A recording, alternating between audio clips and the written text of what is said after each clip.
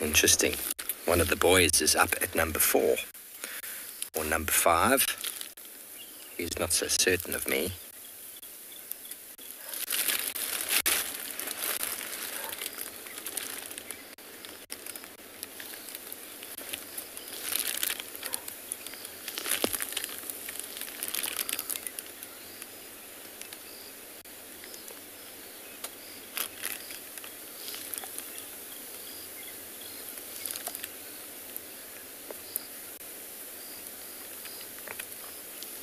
Nothing quite like. They're, not as confident as the adults. They're going to walk a little bit more around me. I don't think the telematis are that used to seeing the roofs. That's something I noticed. I did a habituation program with leopards years ago. And the leopards definitely didn't like the roofs because they were seen more often without roofs than with roofs. So when there were roofs, their behavior is slightly different. Obviously, here our Nkuhuma pride is seeing us in thick and thin. So we've had roofs, we haven't had roofs. But the telematis saw Tristan the other day, but they were so preoccupied with with their meal. But this one is like, what on earth are you? Yes, that's my leg. Don't you look at my leg like that. Never gets old, everybody. Uh-uh. No.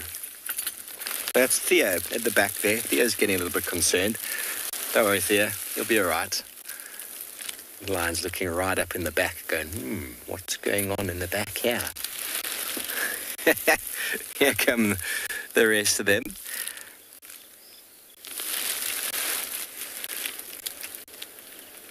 Now they're walking straight up the road behind us. So uh, they're lying down again. One's just had a, a pee. I don't know how it is that they can be hungry, but it seems as if they are. Maybe they're just a little bit bored of being in the same place for two solid days, and they decided we're going to move. These ones can still see the rest. They haven't gone very far. They just moved slightly. So when we track lions, you'll often find where they move and then they lie down like this, and they're very characteristic sort of tracks in the sand of the lion's body, how they've been lying down, and it's something they do regularly when they're walking. They'll lose sense of something, the wind will drop, drop down, they get tired, and they'll just all stop. And then all of a sudden, they'll start moving again, and then follow the leader continues. And although we talk about predators like lions and leopards being very nocturnal, um, they haven't needed to move because they've been so full. Sorry, did I get comms there? They haven't needed to move because they've been so full, and now that it's overcast, nothing to stop them moving in these conditions.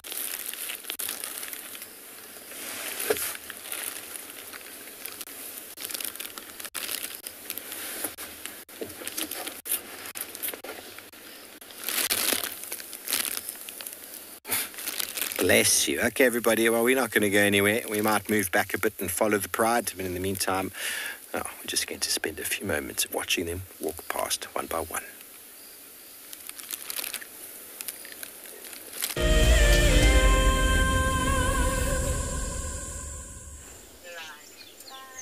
I'm sure Steve is going to spend his morning with the pride. Doesn't seem like there's really many other places to be. But we're watching a crested francolin who's just displayed the most weird behavior. There's an elephant that's just come out in front of us.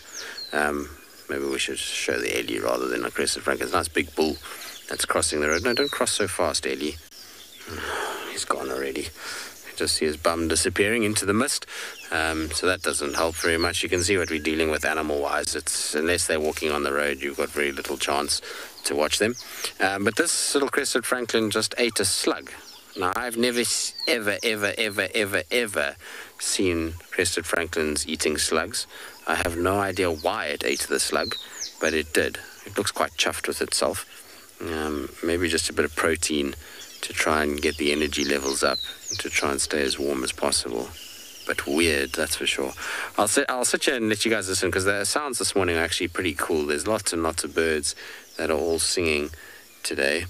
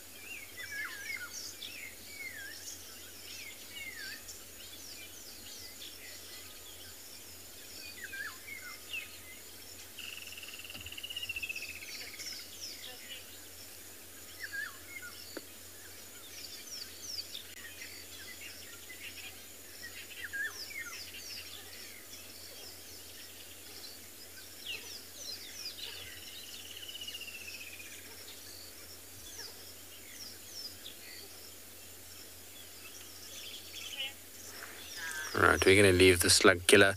We'll try and see if we can catch up with those ellies and get a view of them at some point down the road.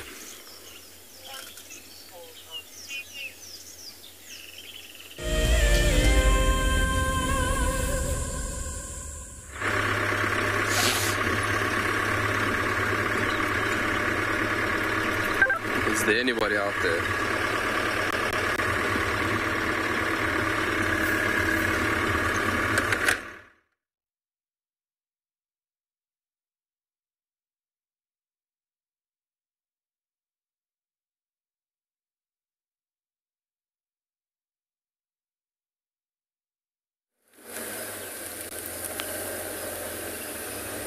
Okay, well, you're back with us, everybody. The Lions are on the move.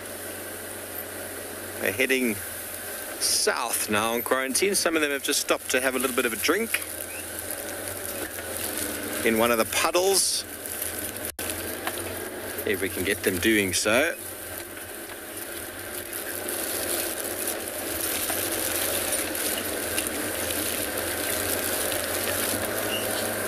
Here we go.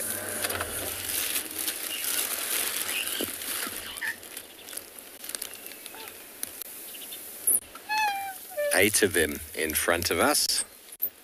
Heard a baboon off to my right hand side going, wow. Basically, there's the lions, everybody. So we might see them hunting now, everybody. It's not un- impossible. Um, maybe they were just thirsty, but it's possible that one of the females is feeling a little bit peckish, a bit snacking, a bit snacky. Sorry. Let me move up a bit so that we can get closer to these lines before the rest of the pride catches up. They're all slowly coming from the right there. They're cutting the corner. Not too bad, not too concerned with walking through the wet grass as the rain starts to fall once more. Lovely to be on the other side of that puddle, watching them um, drinking. See, they don't like the water. See how they go around it? Although they do like to drink, lions don't like to get wet. They do get a lot of their moisture from the animals and the blood that they feed on, but they will drink whenever it's available.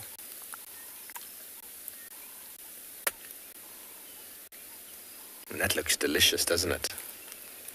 Nice sedimented runoff water.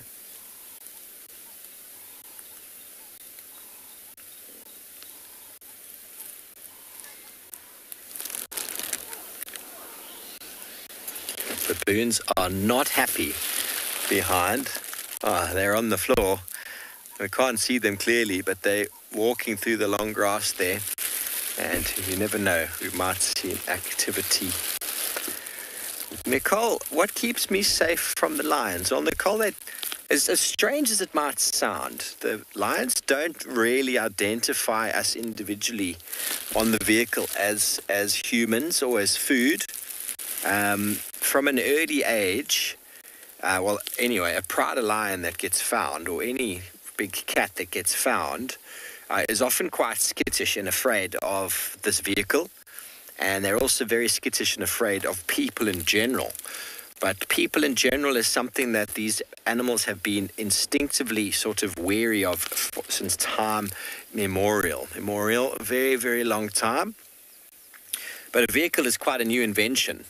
So they've never learned to fear it. If uh, the first time lions encountered a vehicle and they got shot from it or hit with it or food stolen, they would start to dislike the vehicle and maybe be quite skittish or even aggressive towards it. But uh, habituation is the process whereby you can view these animals safely, eventually quite close up, because they get so used to the vehicle that they don't see it as a threat. They just see it as this thing that seems to follow them around. It's a, it's a very interesting sort of process. But uh, if you encounter a wild Prada lion that's never seen a car before, their behavior is going to be very different. They're going to be very skittish. They're going to lie flat. They might growl. They might even become quite aggressive towards a car. But um, if you habituate the adults, the youngsters learn very quickly that mm, mum's not concerned, so I'm not going to be concerned. We're having a walk by.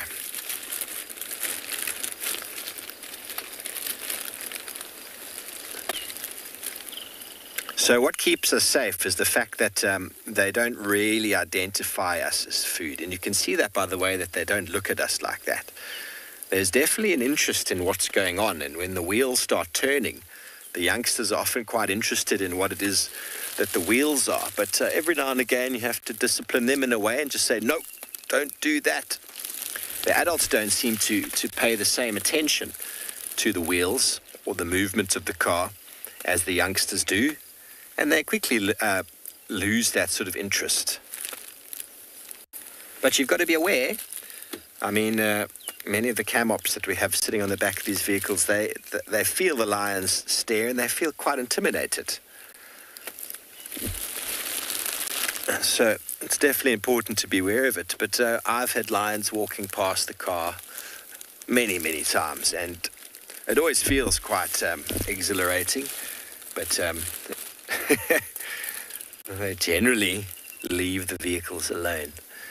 Generally leave the girls, the vehicles alone. Very thirsty.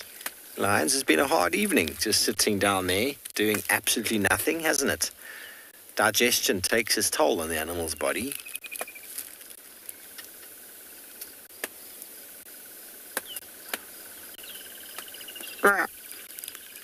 Baboons have definitely spotted the lions. They're not making the same noises they make when they see a leopard because they know they can get away from uh, lions. Lisa, they are. It's a very pretty pride. There's a boy right there. You can see he's got a bit of a fur on his chest. Uh, I think there's only two sub-adult boys here from what I've seen. I haven't spent enormous amount of time with the Telematis, but the last few times I've been with them, definitely two sub-adult males, and the rest seem to be girls. Look at that power, though, in the chest. Can you see it? The one to the right is a chest, a huge power in the chest. They are very, very powerful animals. I mean, it's not comparable to, to take a human and make a human the same weight as a lion and think we would be the same uh, strength. It's just not. You know, lioness, like that one on the right there, is weighing in the region of 280 pounds, 300 pounds maybe at the most. Now you take a human and put him in that sort of weight category, and um, he would not never be as, as mobile, as flexible, as agile, or as physical. It's going to be strong. Don't, don't, let me, don't get me wrong. But the, the strength, the wiriness, and the sort of tautness of the muscles and the ability for these animals to move, charging speed of 90 kilometers an hour. That's 45, 46 mile an hour charging speed. Now you take a 135 kilogram human being and make him run at 45 miles an hour. It's not possible. 280 pound human being run at 45 miles an hour, 46, 7 miles an hour. the four legs do help everybody, I'm not going to lie. The four legs do make a huge difference. So you see that lioness we were looking at before. If we go back to her, you'll see how she's just interested. She's looking at the baboons from a distance going, I'd really like to eat one of those, but I don't know how I'm going to get there. So you've got to be cognizant of those sort of looks that these animals give. And many times in the past on a vehicle, I've had a lion suddenly start looking at my vehicle like that or going a little bit flat, and you realize that someone on the back has stood up um, the animal's behavior changes very quickly, and it's very important when you are on a vehicle uh, with lions, with leopards, regardless of how relaxed you might think they are, to maintain your body within the vehicle and not to stand up, not to climb off, of course, while they're visible, because their behavior can change to one of, of, of, of a different nature.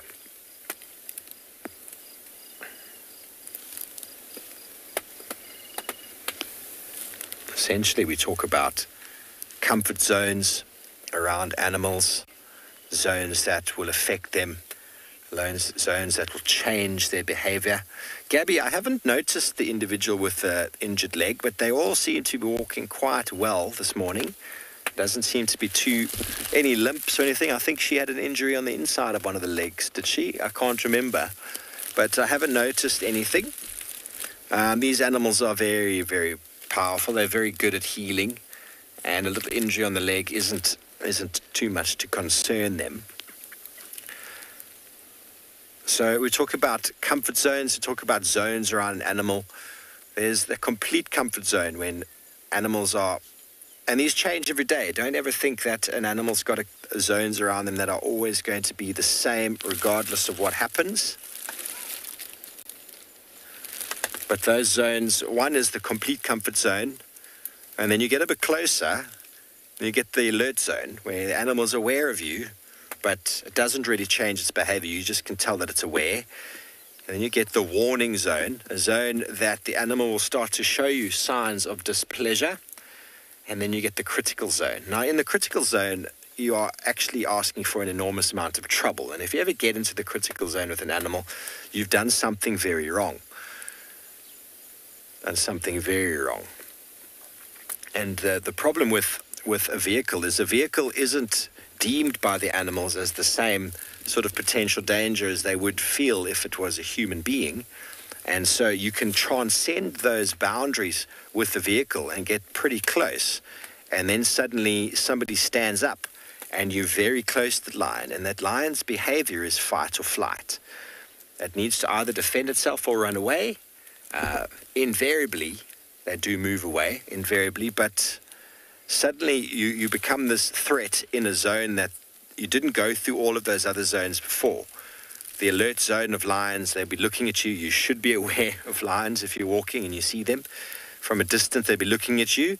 Um, and then after that, they should make a noise. Uh, if you don't hear that, then they either didn't make the noise or you are deaf. And then after that, there's that potential for conflict.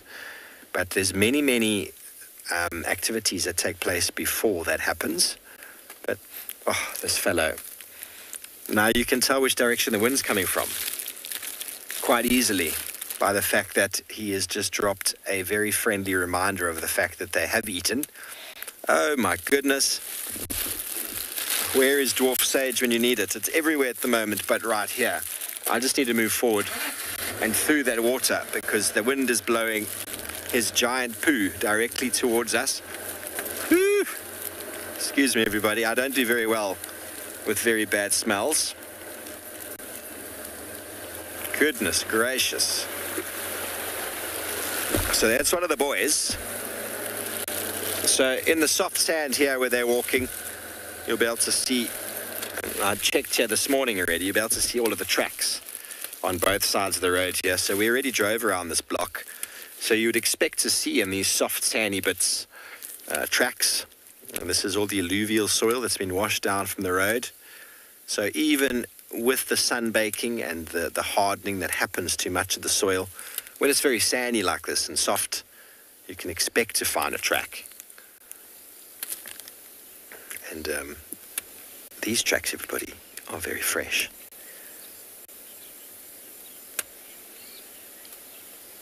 Okay, very good. Well, we're going to go around the corner here. It looks like the lines are slowly moving towards Tambeta Pan, and it sounds like Kyle has got some activity at a pan of his own.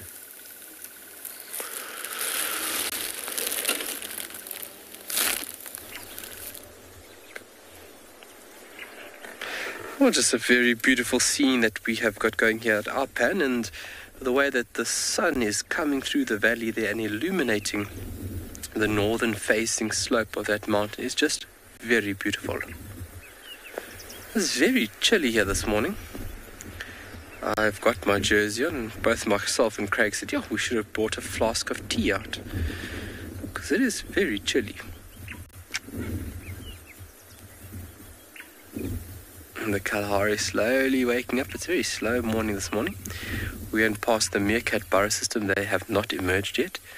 And uh, obviously, with this uh, delayed sunrise, I think they're also going to have a delayed start this morning.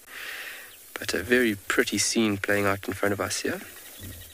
And uh, we were actually just observing and appreciating these little new forms of life along the right hand side of the pan. These Egyptian geese have had new little goslings. us. And this pan is very important for a lot of animals and animal activity. There are tracks of cheetah that have come in here, but it looks like from yesterday. Looks like two males.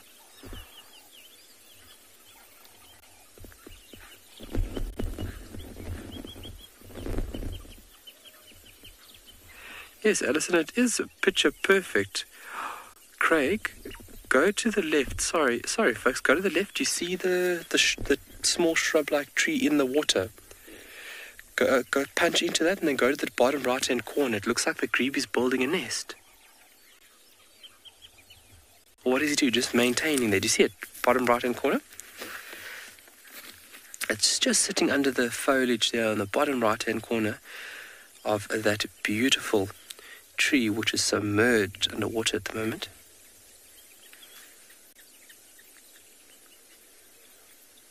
looks like it's just maintaining something.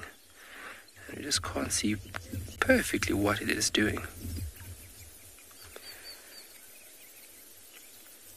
Their nests are a floating uh, heap of plant material. That's typically what they would um, build. But it does look like this little bird's doing a little bit of maintenance around it, sitting nice and tight. See how it's picking at the material on the left and right hand side of its breast. Almost an indication that it's getting ready to utilize the site, which would be phenomenal if we had a little grebe making a nest site here.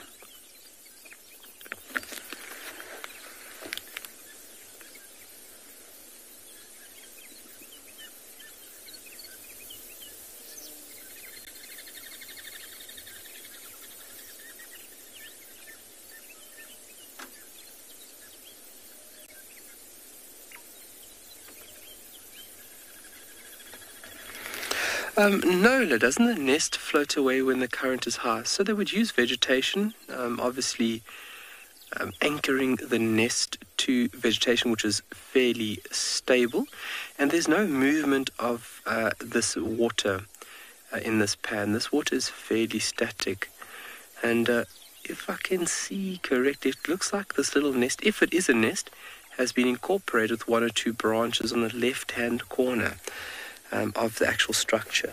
We are a bit far away, so in picture it is very tiny. Um, but you can see that the bird is busy. It's sitting still and it is very, very busy around its body. There's a blacksmith lapwing coming in from the right. And we haven't actually done an update on those um, young individuals. We haven't been here for a couple of days. They must be sitting here somewhere. But that would be phenomenal if this little grebe is um, nesting. It is always such a treat to find these birds through this period and observe them. Because some of them can be very, very, very sneaky.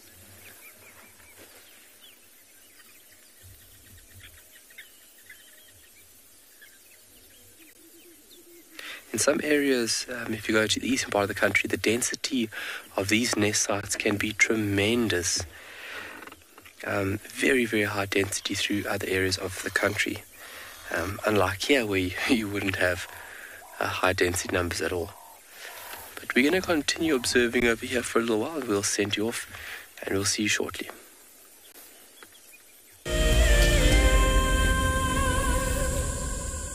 Have you been watching Wild Earth and dreamt of being right there on safari with one of the guides? Well, now you can. Wild Earth is offering you a chance to buy a ticket to dream.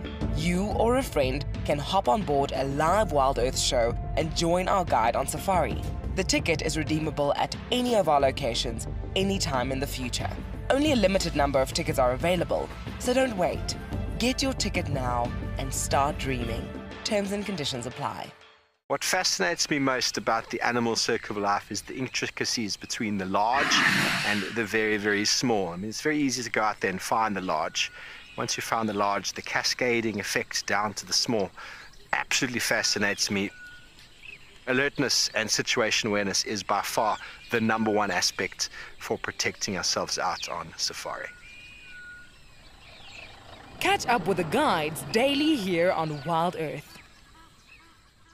This is Rusty. He's my favorite vehicle, and we've been through all the good times here in the bush. Now, if you feel a connection to Djuma Game Reserve like I do, then we have a fantastic opportunity for you. You can have your name engraved on a brushed metal plaque, just like this one, and we will attach it to Rusty so you can always be with us on safari in spirit. We will even send you a digital photograph once your plaque is mounted on Rusty. Spaces are limited, so grab your spot now. Do you dream of traveling to a far flung wilderness location where life continues as normal? A place where you can escape to nature and breathe. If you become a Wild Earth explorer, then this could soon become a reality. Subscribe today and stand a chance to win regular travel prizes. Wild Earth Explorers, it's in your nature. My name is Lauren, and I'm currently working in Djuma Private Game Reserve here in South Africa.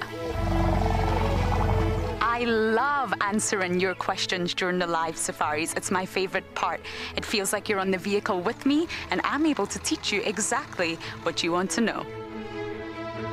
If you want to ask a question on Wild Earth, then you need to register on our website. Once registered, you must go to the live safari page and ask your question below the live feed.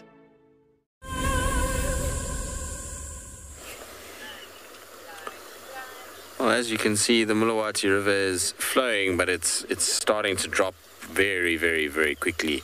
Um, there is water that's moving, but it's not going to be um, flowing for much longer. I reckon if it stops raining within two days, we won't we'll see a trickle rather than this kind of proper flow that you're seeing now.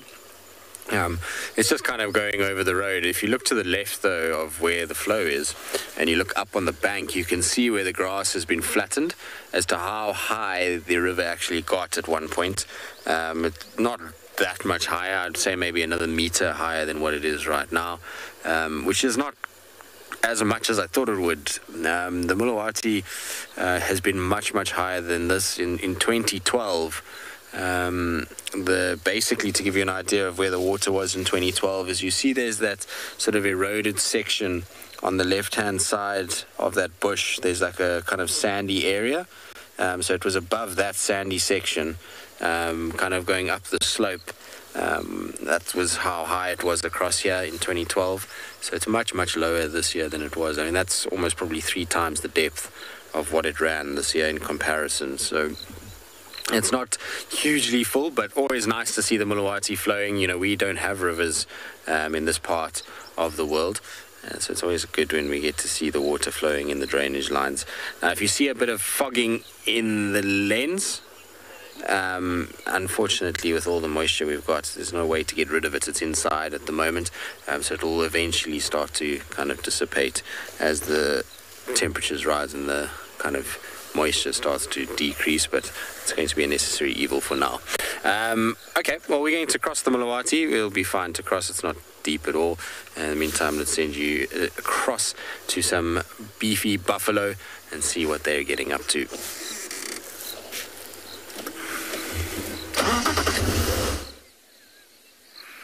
Welcome back to Ambion Pinda.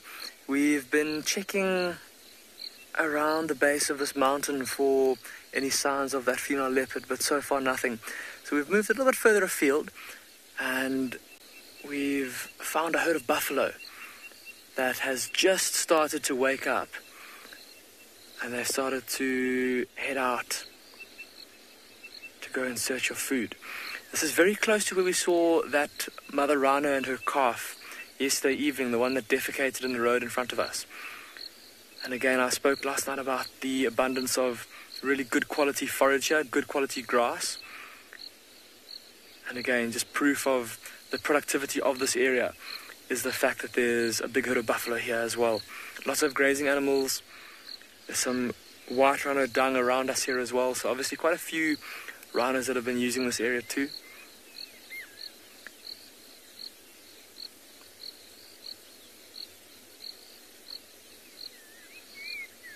Still a few members of the herd that are taking their time before standing up and starting to move.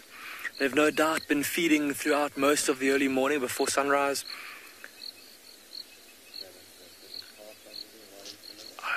There's a couple of little calves in front of us there. Look at that one, that one that's scratching its head there. Against the stick.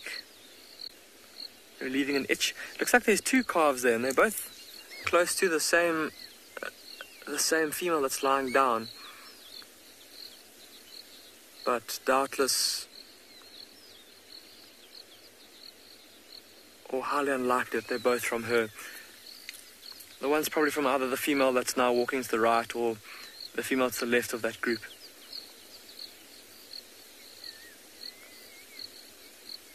Quite gross, but um, quite interesting too, is Glenn and I were just talking now about how as these buffalo stood up, they started to. You could hear this like slapping sound that was from all of them defecating at the same time as they stood up. And that's something that's quite typical of buffalo after they've lain down to rest and then gotten up and started to to move. Um, you, you'll hear or, or see them. Often the first thing they do is they, they defecate, they urinate, and then they start to move. So something that's often quite important when when, trying to track buffalo, in terms of aging the tracks and trying to to figure out how long ago they were there or how far behind them you are, how fast they're moving. Is if you find all the dung kind of clustered in one little area, there's a good chance that they were lying down and resting there. And that you might then be able to gain a bit of time or gain a bit of ground on them. Tamsin, you're asking how big a buffalo herd can get. It can get pretty big. Often, well, at least here in Phinda, the biggest herd that I've seen was about 120 buffalo. But by buffalo herd standards, that's quite small. In in parts of the Kruger, parts of northern Botswana, I've seen herds of, sure, hundreds, maybe 200, 300, 400, and they can get even bigger than that. And it's often when resources start to get scarce that the herds get bigger. Sounds almost counterproductive. You'd think if there's less food that you know that they spread out more, but we often see during the dry season, the dry times during winter, that the herds kind of group together and they move between the last available sources of food.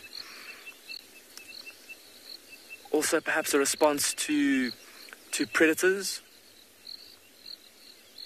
A bigger herd means more eyes, more ears, more noses to keep a, a lookout for danger, so it should therefore be safer.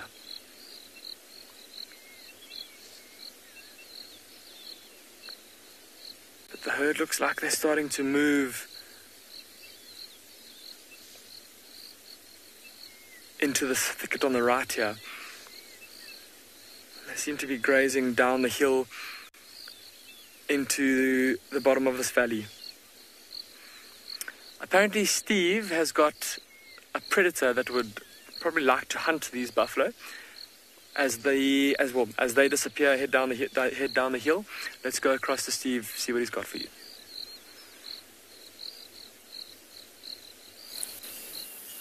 Mm, most certainly, Damien. This Pride is an expert when it comes to, they are experts when it comes to buffalo hunting.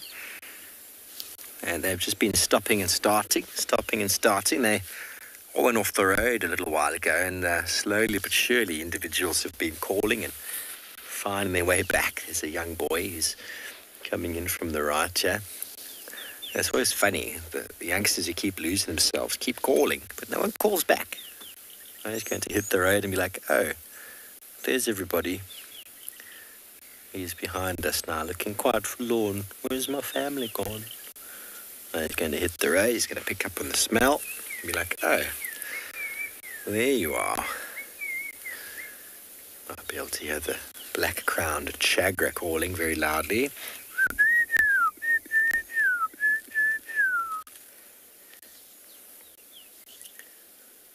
There's been a light pitter patter of rain since we went out, but it doesn't seem to be continuing much at the moment, but uh, everything's steaming up.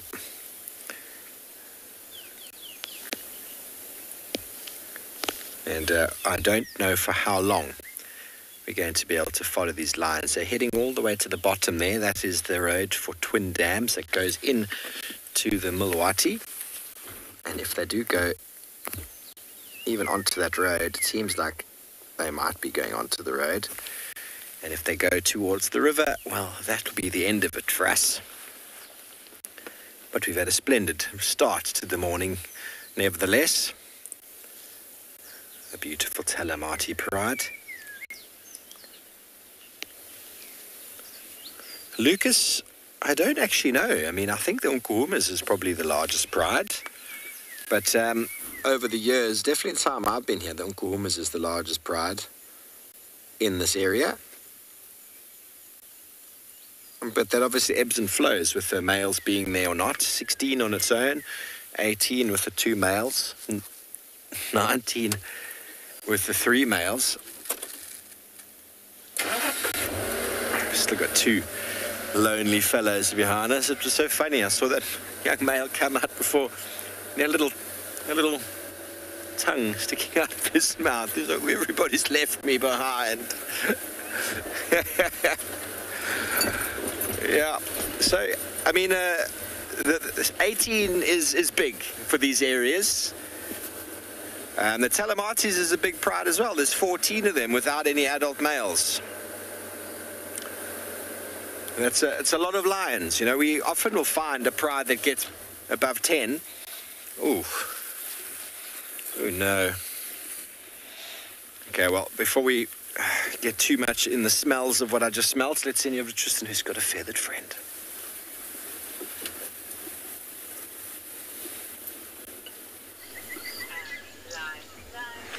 Well, we can see we're doing a spot of birding.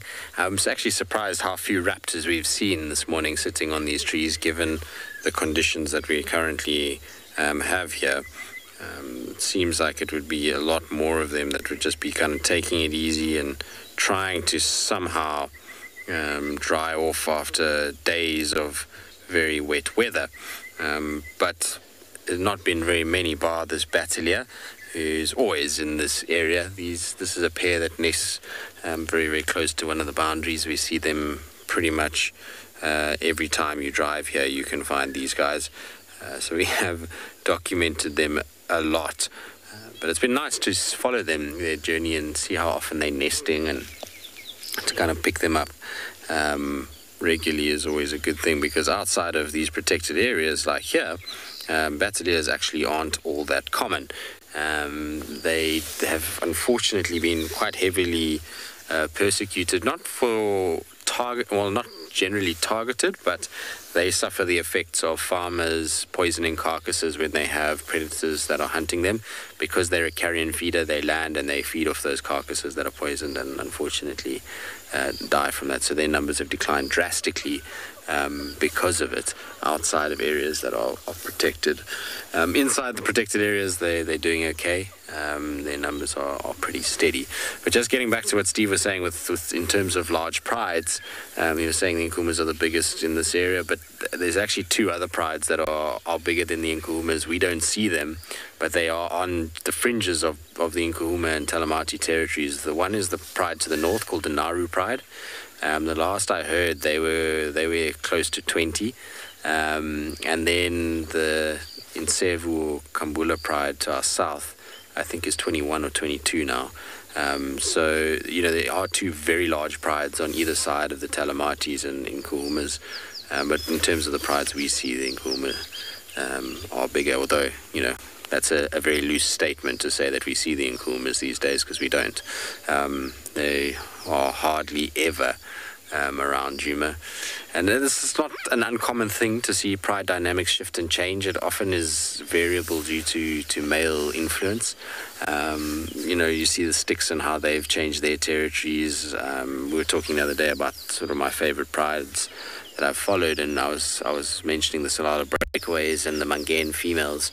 Um, and they used to be all over this area, and now we don't see, you know, any sign of the Mangen Pride. Um, so the territories change and uh, alliances shift as their new males come in, and that then means that you start to see a drifting and a changing of the, the territories of the lions themselves. Um, they don't always stay in the exact same place. And who knows, you know, maybe a new coalition comes through and the, the Nkuhumas come running back up this way. Uh, you don't know. Um, but it'll be interesting, kind of either way, to see if the Talamatis continue to spend more time on Djuma um, and Nkuhumas less time like they have. Anyway, it sounds like Kyle's got something interesting. So let's send you across to a dry Tswalu, uh, or drier Tswalu, and see uh, what he's got.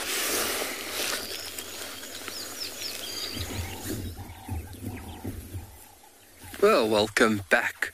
We have just taken the corner around this pan and we have seen a subtle sign left behind, more than likely by a hooved ungulate or two. If you guys look at the trees in frame, the one on the right hand side, you can see that the grassy area that is um, casing the tree itself um, you can see the grass has all been flattened. And when it comes to reading tracks and signs, these signs left behind are not always, you know, very subtle. I mean, sorry, not always very prominent, but are sometimes very subtle and very, very hard to read. But over here, we can see that all the grass has been flattened, giving us a very clear indication that somebody found this to be a suitable rest spot for last night. More than likely, an, a wildebeest or maybe even an eland came in here and had found this spot to be absolutely perfect and decided to rest here. So you can see that all the grass is just flattened beautifully and there's a very distinctive flat and then raised section to the back there. Um, when you look at that that uh, format, you can also use that to track animals if you're in a very grassy area or like we have now, where the grass is dominating certain areas. So looking and finding a track within the sand is a very hard thing. So what we rely on now is when animals are moving from point A to point B, we are relying on the grass and the way that it is bent um, to give us a general direction of where this animal might have gone. So utilizing all aspects and utilizing all these tools is a very, very efficient way of finding animals. And also it really enriches your experience being out in the bush understanding all these um, these differences and all these little signs left behind by animals. So more than likely, just a hooved ungulate finding a rest spot up on the tree. There, there's the whydah, um, just through the gap, just underneath the canopy, the far end. Let me just. We've got a very beautiful bird here in the distance here, pin-tailed whydah. Uh, sorry, listen to me, shaft-tailed whydah and there was a male there that just took off very, very quickly. They are very dominant of in a certain area, and that male has been calling out continuously here.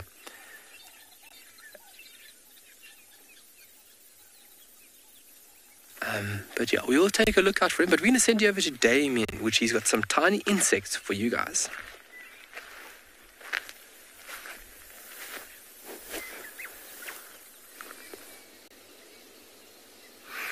Welcome back to &Beyond Phinda. We haven't gone too far from where those buffalo crossed over the road, and we've just come across this incredible explosion of termite alates, which are the winged reproductive bodies of a termite colony. So all of these little, see all there's all those kind of like orangey, whitish little termites that are swarming around there, coming out of the little holes in the ground, and then there's those much larger termites with the wings And so all coming out of the same little holes in the ground. And it's these these winged ones that are especially interesting to us because they're flying all over the place and there's birds that are swooping in and catching them. In fact, what alerted us initially to the presence of this explosion of termite alates was a, a common buzzard that was sitting at the entrance of the of the termite colony and just kind of like picking them out as they came out the ground. Look at that, all of them flying off into into the sky there. Quite bold for them to be emerging at this time of day. There's a lot of birds that will relish the chance to feed on these on these on these flying termites. Super rich in protein and fat, really good food source a lot of the, a lot of the, the, the migratory birds that come down here from from Europe and Asia um, come down here to specifically feed on these on these termite alates and on other insects that become abundant during the summer months here in southern Africa. But yeah, obviously with all the heavy rain that we've had, the soil will be, will, will be nice and soft now. And so it's ideal for these termites to leave their colonies and fly out. And there'll be several, or, all, or most of the colonies in this area will also be producing, presumably, or releasing their their winged reproductive bodies, and then hopefully the termites from here will find termites from another colony, and they'll be able to to breed and then start new colonies.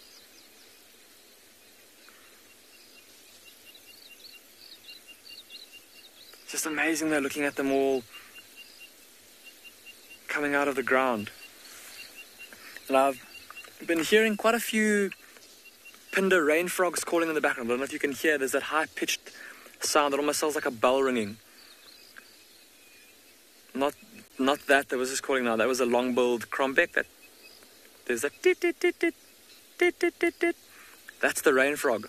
And I've spoken a couple of times about how I'd love to show all of you one and because of how elusive they can be and how they typically call where they sit at a they sit normally in some in, in, in pretty dense cover and then call from there where it's hard to see them often the best way to get a view of them is to actually come and sit at a at, at uh, the entrance to a termite colony especially when these termite alates are coming out. And often the frogs will gather around and then also just like that step like that uh, common buzzard was doing they'll gather the alates as they come out.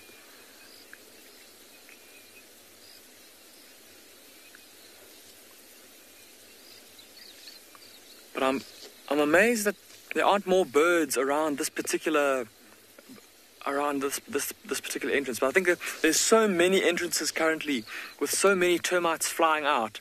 There's only so many termites that the birds can eat. So perhaps another survival strategy of these termites is that if they all kind of fly out at once, the odds of you getting eaten are, are a bit less. Good survival strategy almost just satiating the predators, flooding the market with food, so to speak.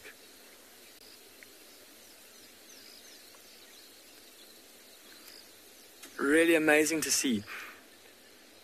I think Glenn and I are going to leave these termite alates. We're going to keep on heading down the road, see what else we can find for you. Let's go across to Djuma. Apparently, Tristan's got a roadblock in front of him.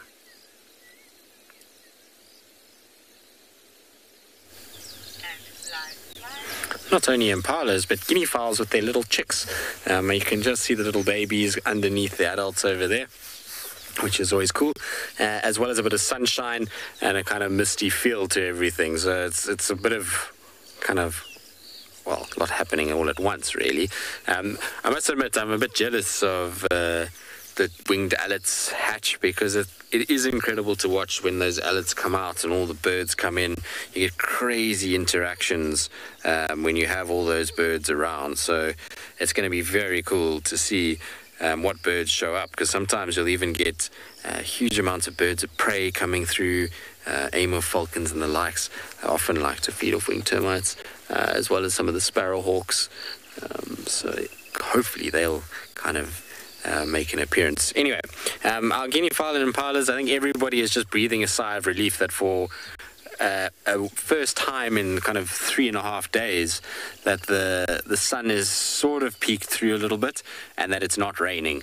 Um, it's dry for now. It, it's it's fairly warm, and I think everybody's just on the roads, just trying to kind of stay out of the wet grass. Um, I'm surprised we haven't seen more signs of cats. Uh, I haven't seen a, I've, well, I have seen tracks. I saw tracks for a mating pair of lions.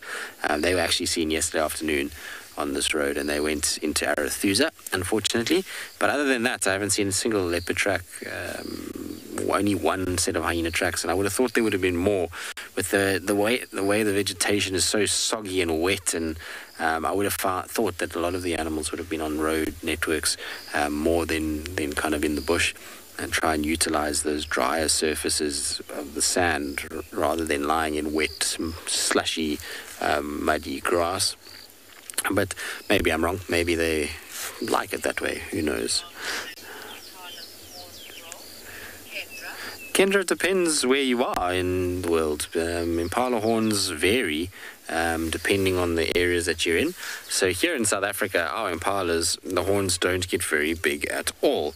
Um, they, not comparatively speaking, um, and the reason is quite interesting. We'll get into it now. But in East Africa, um, the size of impala horns is massive. They have huge um, horns uh, in comparison. Um, and the reason why their horns have developed so much larger is because, unlike our um, impalas that go through a rut, um, the impalas up in East Africa are mating all year round, and because of that, it means that their horns have developed to be much bigger and larger. Um, so they've evolved to have these larger sets um, that are used more regularly, whereas ours tend to be a little bit smaller because they're only used um, at certain times of the year. In terms of how big they can actually get, um, you know, most horn sizes um, are measured in inches.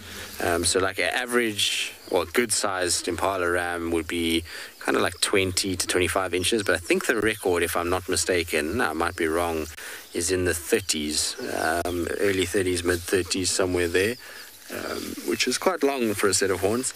Um, it's, it's not a small amount at all. Now, I'm sorry that the lens looks like it's all misty. It's not misty like this at the moment. Uh, that's unfortunately due to the amount of moisture that we've had.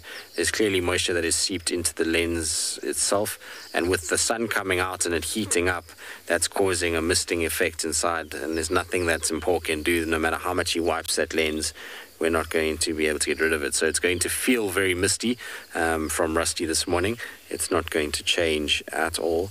Um, it'll have to dry out, so we'll need a bit of good sunshine uh, just to kind of get rid of that misting that's taking place. It's not ideal because generally with cameras and lenses, you don't really want any misting on the internal side of the lens because that can cause fungus to grow, funny enough, and can mess up um, things quite quickly, which is which is crazy. So we'll maybe try and see if we can get it into some desiccant or something during the course of the day to get rid of that moisture and draw it out. Cool little sighting this though. I'm enjoying the kind of male uh, impalas just sort of clashing horns every now and then, a little yawn here and there, and then the, the guinea fowl in the background for once being quiet, um, and their little ones that are sort of bouncing about in the background. Oh, hello, brown-headed parrots. Some brown-headed parrots calling to our left-hand side.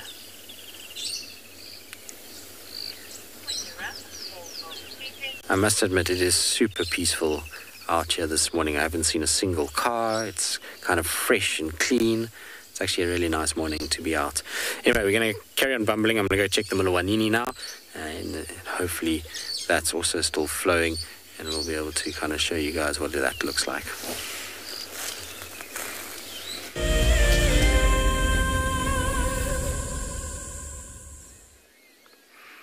You're back with us here at &Beyond Phinda, and we haven't managed to get very far from that explosion of termite alate because we've just seen a yellow-billed kite, and Glenn's doing a phenomenal job of keeping it in frame because it's moving around quite quickly and quite erratically.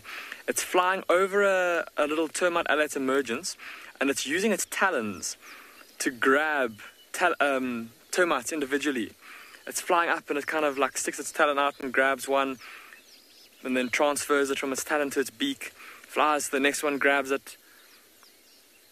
There we go. It happens so subtly and so easily.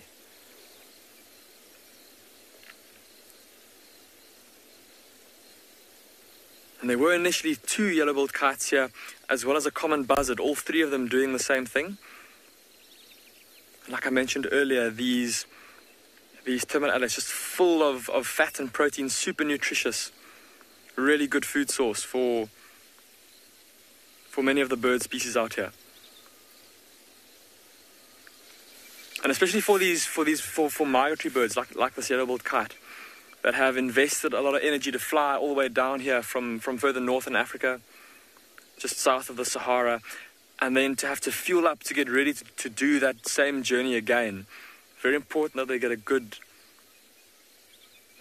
they get good quality food while they're down here and good amounts of food to build up body condition before they make the great trek back. It's amazing the accuracy though of this kite. It makes it look so easy.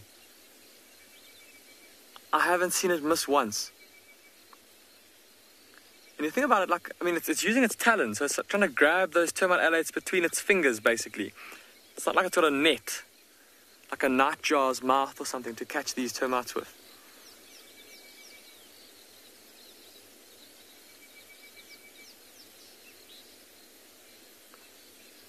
What an epic sight.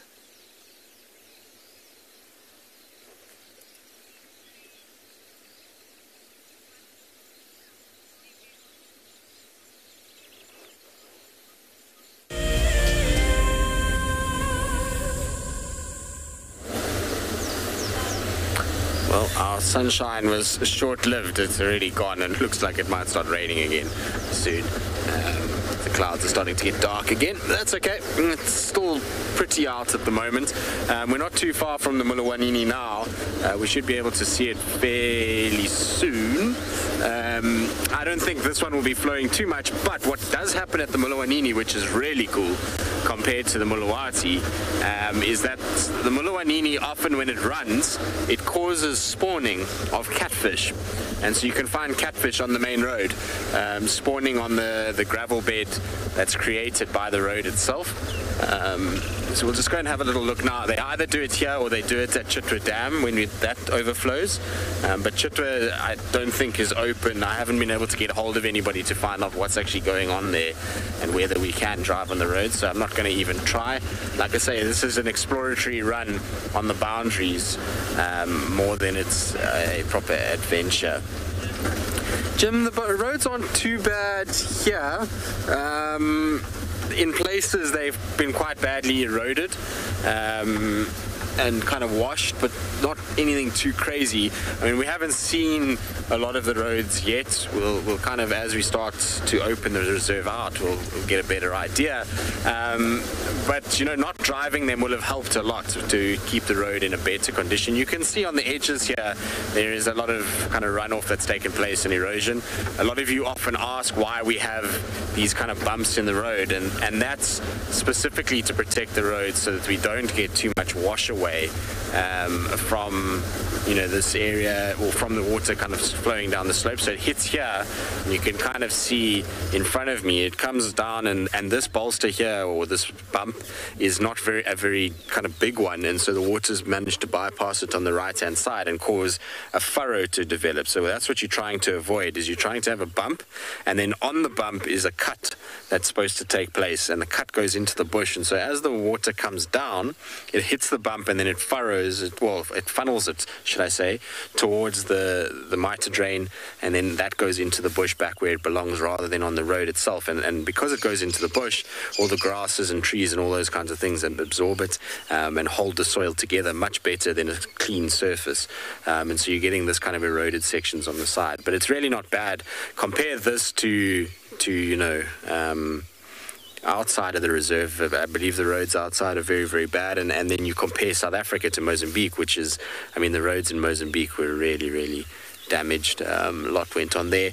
But funnily enough, it wasn't as bad as the, the cyclone they got last year, which we didn't really feel too much of the effects of. Um, I think it was Idai was its name.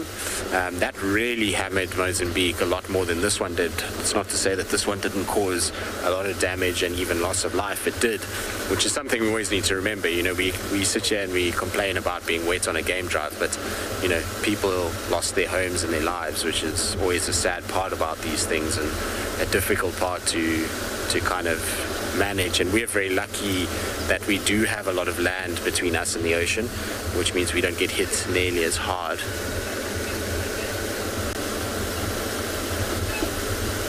Corgo, um, in terms you don't really get um, massive illnesses that develop in this kind of weather. So things like anthrax are more prevalent in dry conditions um, when spores are, are kicked up and, and made available by animals going to and from the same water point, digging for water. They can activate those spores. Um, what you do get a lot of here, I'm going to stop up the slope because we lose signal a little bit as we go down there. So I'm just going to stop up here where we do have signal so you can see the Mulawanini. It's not flowing very much at all, actually. It's, it's a gentle trickle. Um, and so, you know, what they do get in this is, is deaths occur due to to cold. Um, so when you go from temperatures of 35 to 40 degrees Celsius, or you know 100 Fahrenheit, and that drops overnight with wet weather to something like 20 degrees Celsius, or you know maybe 60 Fahrenheit. It causes shock, particularly to young animals and birds.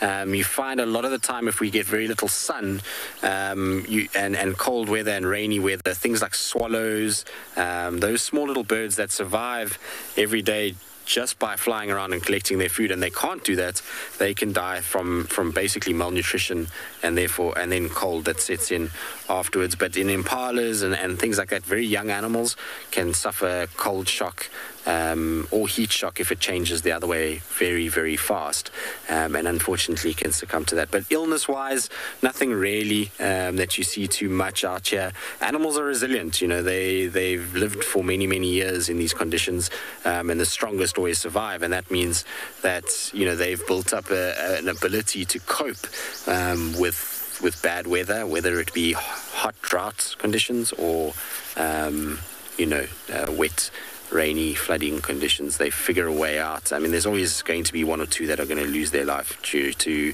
something that's taken place if it's extreme on both sides.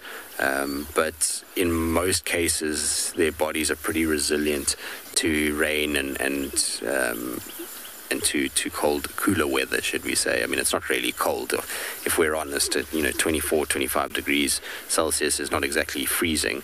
Um, so these guys are just fine. They, they'll be okay. We won't find too much of that. Um, and like I say, there's not like they get the sniffles or the flu or something.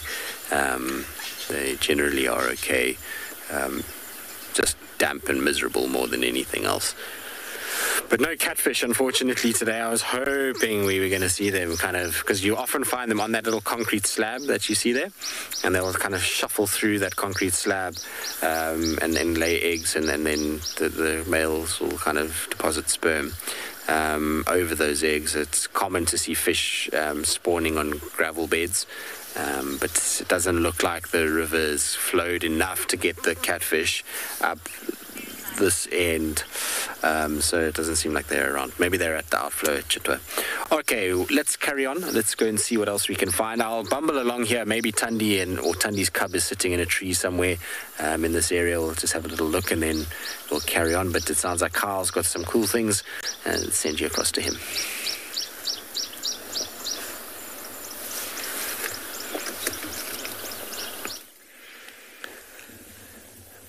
Well, thank you, Tristan. And how lucky are we?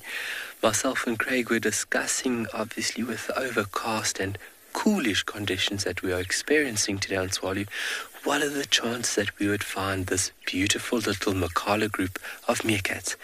And we took a chance. We walked in the block and we saw a little head and we rushed to the vehicle to get you folks. We have one individual out busy scouting the area just making sure that oh, he sees something. What does he see?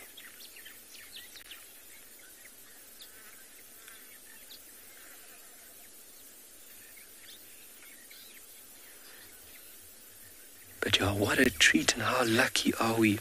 So, in overcast and very cool conditions, meerkats are really taking a risk at coming out because they're tiny little bodies, they lose so much heat to the environment. Unlike an elephant, for example, which doesn't really have to worry about losing body heat. Um, this little animal's body is obviously now working overtime to ensure that, you know, homeostasis is maintained. And um, if you think, like we've been looking at, if you look at their general feeding behavior, they have to feed all day. So in conditions like this, you know, it's a touch and go um, decision. Whereas, and if we are going to have rain, these animals would not come out the burrows. If it was a bit slightly drizzly now, or if yeah, it was a bit colder, they would opt to rather stay at this burrow system where they are warm. But then it is a massive catch 22 because by them staying in this burrow and not going out and foraging, they would lose a lot of body mass. In a day, they could lose a good percentage of body mass if we had prevailing unfavorable conditions. But for right now, it is just slightly overcast, and it is it is perfect for them to be outside, and hopefully we can. They are very cute little animals. Lovely comment there. Um, they are just so all-rounded, um, is in terms of a cute animal. Um, and then they have the sociability that just fits hand in hand with their appearance, being very, very social little animals. We, uh, we really enjoy watching meerkats because of their sociability. They're by far one of the most social animals that we have.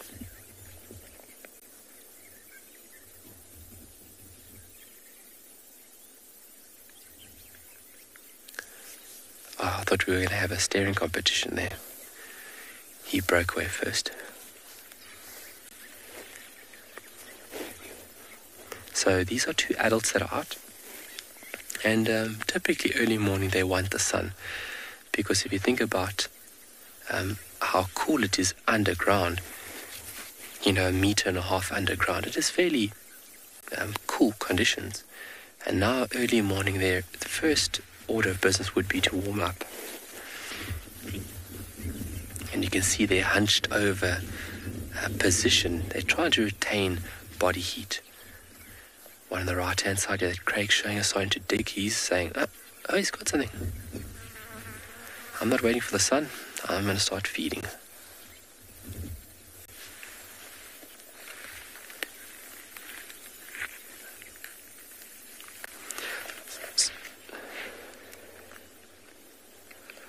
Lauren, um, what do meerkats eat? Well, meerkats eat a wide variety of insect, invertebrates. Let me say that that's better, better suited. So they would eat beetles, the larvae of beetles. They would eat scorpions. They would eat uh, crickets. Um, I've seen them feed at a certain period of the year, feed um, quite a lot on these armored ground crickets that we have out at the moment. So all types of creepy crawlies they would eat, and that's also why I think people love them so much is because they eat all the creepy crawlies. But um, a very wide range of invertebrates: spiders, scorpions, geckos, and lizards if they can catch them. Um, and they've got the dental structure that obviously enables them to to feed on that food source. If you think about carnivores across Africa, people you know, in general, think about a carnivore and you just think big, you know, massive teeth, very big body weight. But if you look at the a large majority, a very large portion of the carnivore order is actually very small to medium-sized animals. And obviously, being a carnivore, you are consuming other organisms for your sustenance.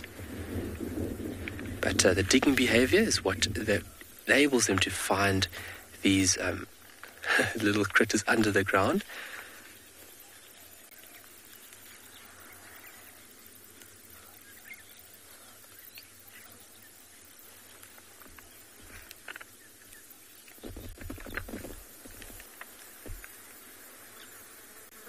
A bit of communication going on here with the two of them in front of us. Yeah, so where we get a a good view on the claws, we'll, definitely point out the length of the claws of these tiny little animals. See that tail almost erect vertically.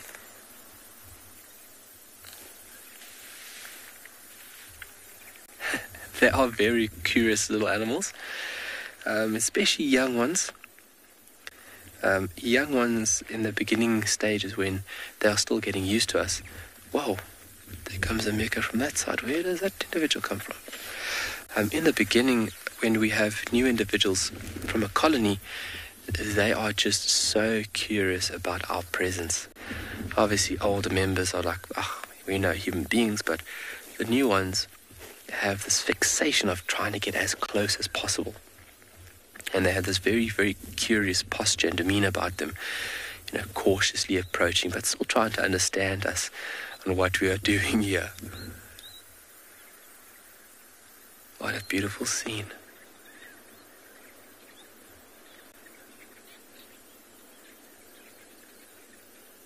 I absolutely love the patterning on the back of these animals. That beautiful stripe pattern that they have. Obviously aiding in camouflage when the animal is busy feeding. Because the animals, it walks on all fours and it only stands upright like it vertically on its hind legs when it is trying to gain a bit of height to scan for predators or to locate colony um, members. Uh, but when it's walking on all fours, that stripy pattern that you're seeing there um, allows this animal to somewhat blend into the, its environment. Because their biggest threat would be from above. Aerial predators such as raptors would be their biggest threat.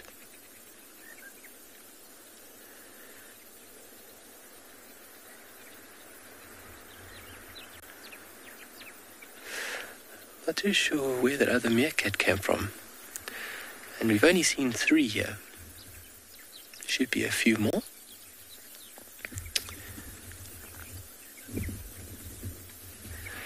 So this buck, there he comes.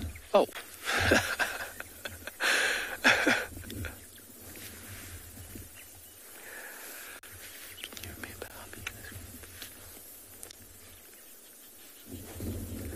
Hello.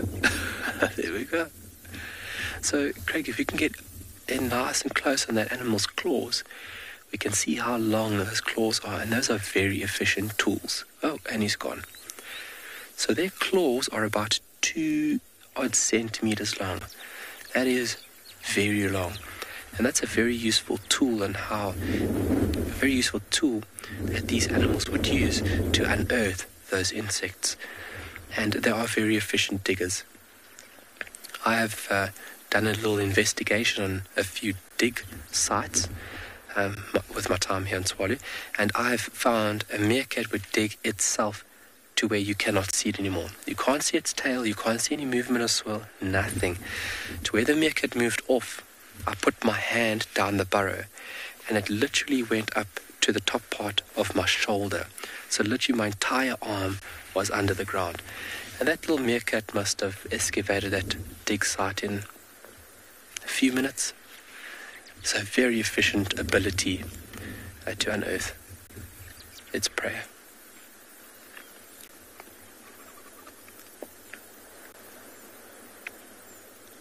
Vigilance is key. And everybody would be vigilant, but you would have one individual taking this role very, very seriously. And early morning, if you have a partner that can check your six, it's very, very good. So everybody's on high alert coming out these burrows because animals will actually wait out at these burrow entrances for the emergence of a meerkat. And as the meerkat emerges, pow, here's another two of you. Wow, they're all coming out now. Morning, guys.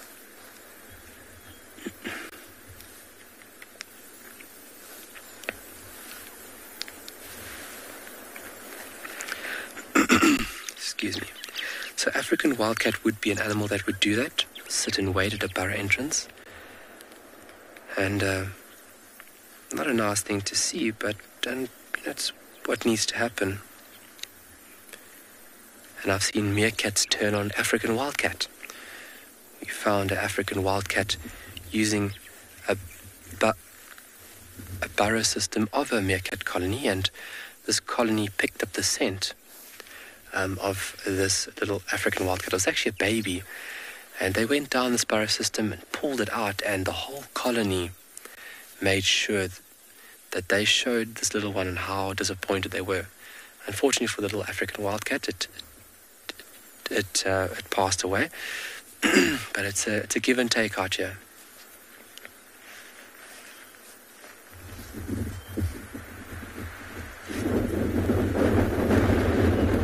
Oh, nice big breeze coming up from the east. And these clouds are rolling over us.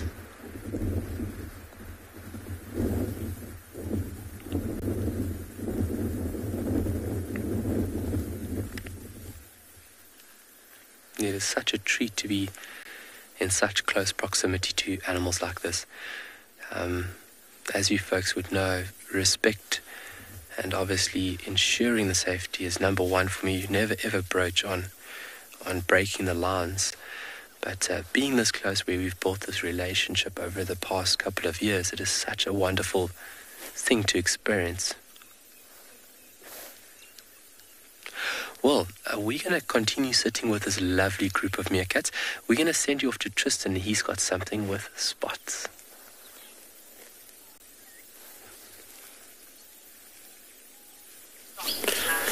Indeed, we have spots, not just one spot, but two spots.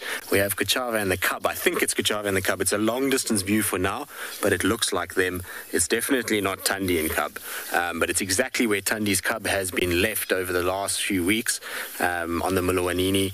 We kind of just spotted them from afar on the rocks, and we won't be able to go any further uh, than where we are right now. But at least it's a view of some welcome spots and two very, very cool spots because they're uh, spots that we don't see as regularly. It looks like them, isn't it? It is them. I mean, I don't have my binos with me, so I'm struggling to see nicely, but it definitely looks like Kuchava and the Cub. Um, unfortunately, like I say, I can't off road, so I can't get to where they are. Um, but they're in the Mulawanini heading towards the main road. So I'm going to just turn around and we're going to go wait on the main road. Um, there's no other way that I can actually um, see them. Uh, this is just the reality of what it's going to be like over the course of the next few weeks. Um, although I'm surprised, I was I was just talking about it now to um, Paul on camera, saying to him that I'm very, very surprised at how well drained a lot of the roads are, how things look okay. They're not as bad as I thought they would be. I thought we would see a lot more devastation on the roads. And I think it's just because, one, is that it's, um, while it has rained a lot, the rain wasn't pounding um, was more kind of soft soaking rain um, to start with. And secondly, not a lot of cars are around because um, you know, the, the lodges themselves aren't as busy as they normally are, and I think the roads just haven't been churned up uh, like they normally would have been. Uh, so everything's actually looking pretty good. Um, it's pretty much how it would have looked if we had just had sort of 40 mils, 50 mils of rain in one big crashing storm. Um, but either way, super exciting that we've managed to at least get visual of these two cats. I'm going to try and get them from the main road. It's going to be very tricky. Um, but given that the Mulawati is running, I'm hoping going to walk along the bank and we'll eventually get them on uh, Gowrie Main again uh, and we'll get to see them there. Either way though, we got spots for a little bit. Um, it's crazy to think that we managed to actually find spots in what we have at the moment. It's not exactly um,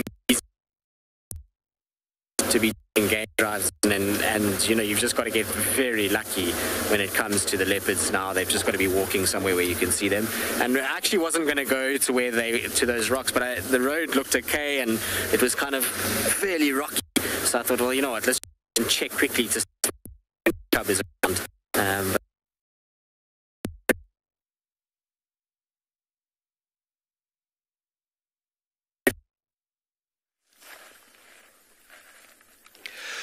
Well, welcome back. Sorry about that. That's all good. You are with us. We are still sitting with these lovely little meerchaps. And I really, in my tummy, I don't think that these individuals will move off today.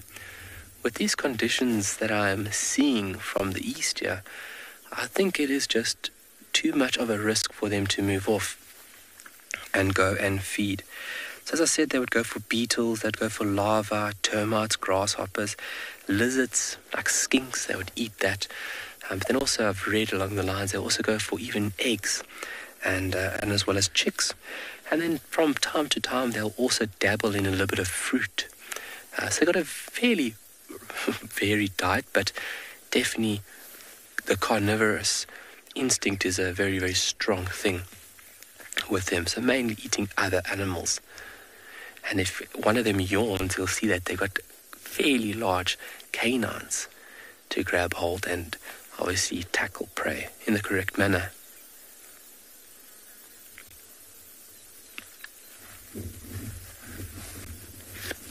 I'm still waiting for the day that a that a warthog pops out behind them and we get a shot of a warthog and a meerkat together. Craig's not even smiling. He's like, oh my gosh, I want it.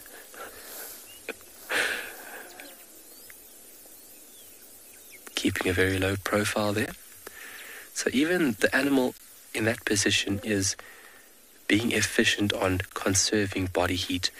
If you think about the wind that we are receiving now, it's coming from the east, but if you're standing directly in that wind, you're going to be losing a lot of body heat. But if you are crouched down and you're utilizing vegetation, the wind is not um, taking away body heat in a very fast manner. So you are conserving and slowing down that process. Or conserving the heat, but then slowing down heat loss. Because the more heat they lose, the quicker that they need to eat. And if they can't and forage, it's not going to be very good for them. So they need to be very, very clever and very careful.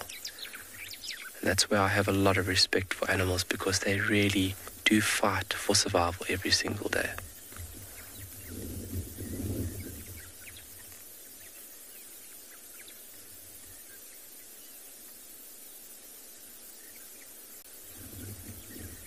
So it wouldn't be a proper drive if it wasn't for a leopard, eh?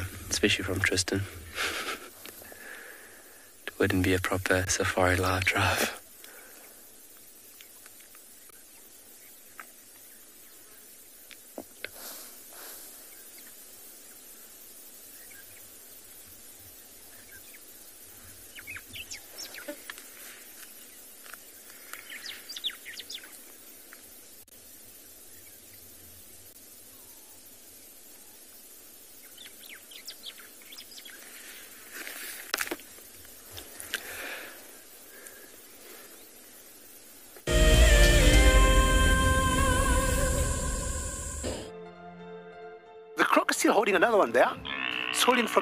From.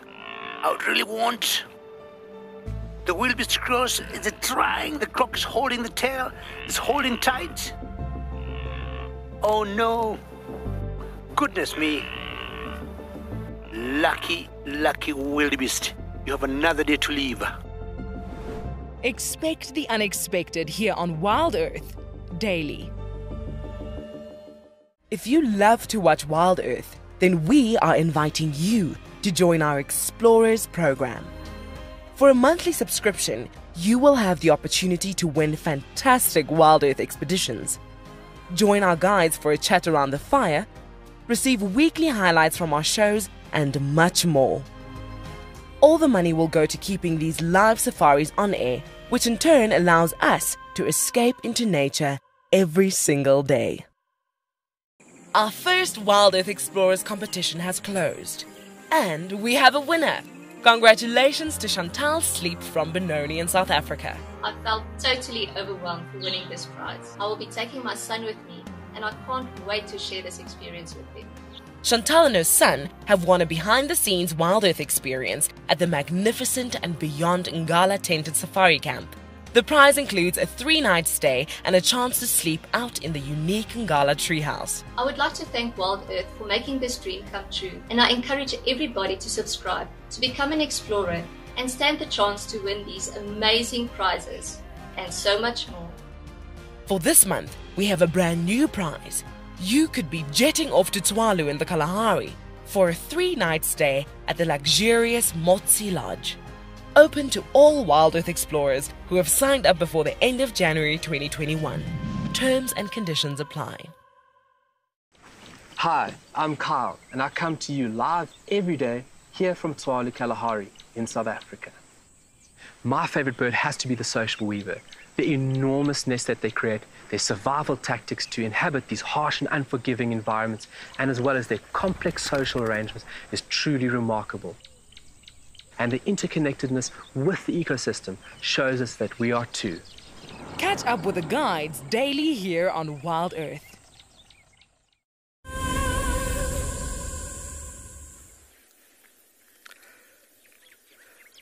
So, how efficient these animals are at foraging. When they are foraging, uh, the animal can shift its own weight in soil in under in under a minute. And then, if you look at the the rate at which these animals would feed on available items, they, an, an adult would make about 30 kills, 30 kills of, well, 30 meals, let's say that, per hour. That is a very, very fast rate at which these animals are digging and unearthing their prey. And to think about the animal weighing in about 900 grams, shifting 900 odd grams in under a minute is a remarkable ability. But now, obviously, just scanning and scouting and making sure everybody's safe is, is what they really need to be doing. Ooh, doo, doo, doo, doo. Laughing dove calling in the distance.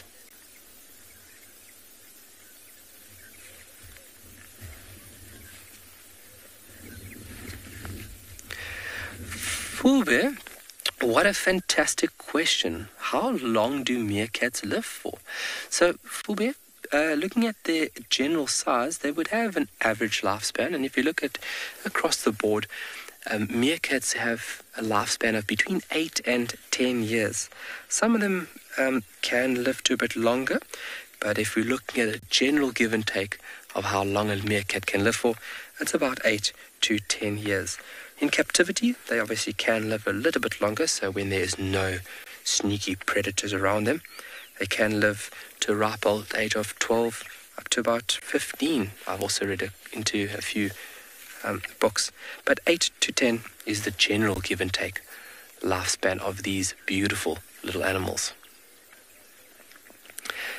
And I mean, to think about all that activity on a day to day basis, 8 to 10 years, that's a lot of wear and tear on joints.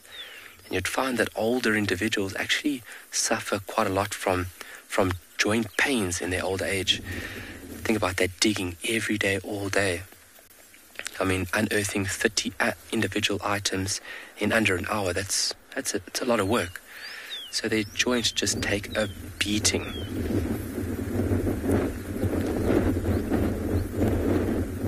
Oh, you cold buddy. Let's get you a blanket.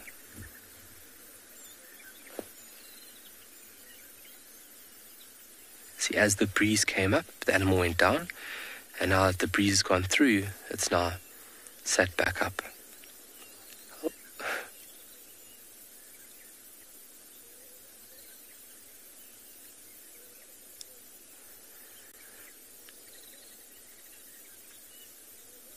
So this is the Makala group.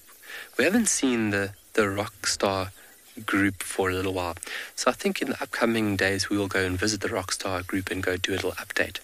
But we're going to send you off to uh, the Leopard Whisperer with some spots.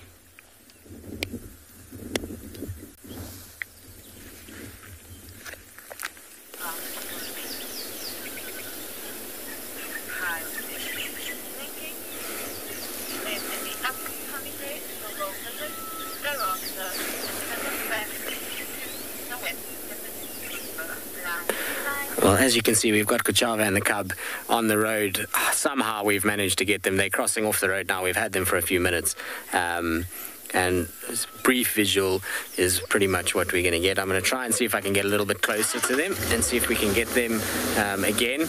They obviously we can't off road, but they are flirting with the roads, and so if we just keep in the area, we should be able to kind of maintain some sort of visual of them.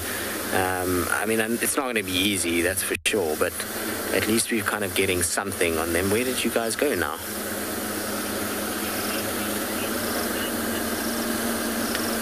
Uh, there they are there. So Paul says he can see them. I can't see them nicely because of the the way that the sort of grass sits, but they're just in front of us here. So what I'm hoping is that I'm going to see her coming to our left, because if she moves towards the left, she's moving towards the main road, um, and we can maybe get them there. Uh, she's scent marking a little bit, but it's definitely her and the cub, that's for sure.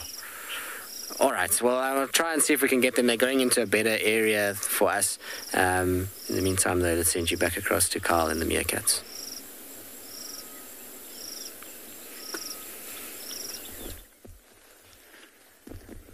I know, I know that Tristan will find that leopard again. So it's quite a small group that we're looking at. I think there's under 10 individuals in this group. I think they're around about seven now. But generally, you're looking at group members uh, within a general colony, could be 8 to 15. That's the general give and take of a group. But then you can have very large groups of numbering nearly 40 individuals within a colony. Uh, but when it comes to that size of a group, um, when it, you know when you are busy foraging, vocal communication does become a very big problem. And if you can't stay in vocal communication with one another, that means that you could potentially be caught. So when a group gets to that size, you'll have smaller groups um, branching off from their, their natal group, and um, in the hopes of establishing and um, yeah, establishing a new colony. Uh, you would never find a meerkat by itself. You would, but then it's a very tricky period in which it is in. Meerkats don't live by themselves. They are social creatures. Just like us, they need each other, as do we. Um, they need each other to have a fruitful and a safe lifestyle. Um, so members, obviously, it's a very, very important point of safety, uh, but then also for the social aspect, it is great. Hello.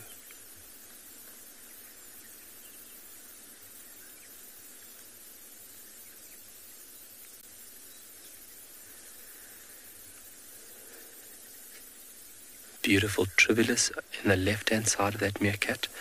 Those beautiful yellow flowers.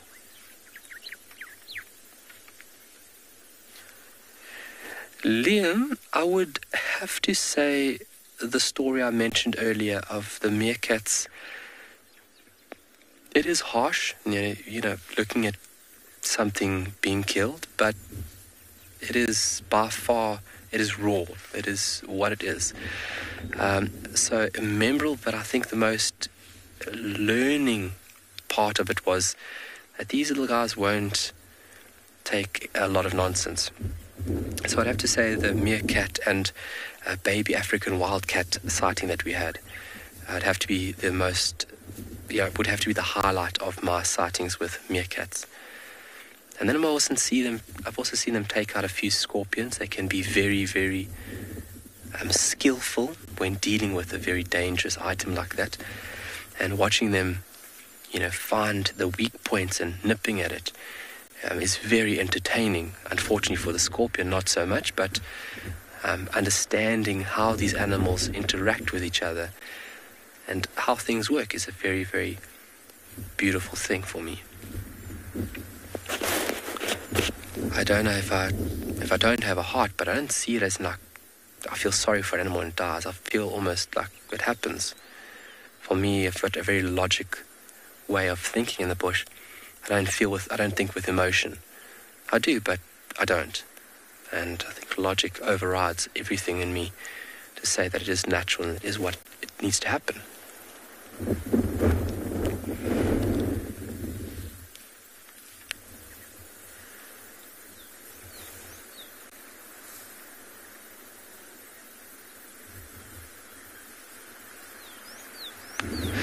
Nicanova, yes, uh, they are territorial. That's a very good question.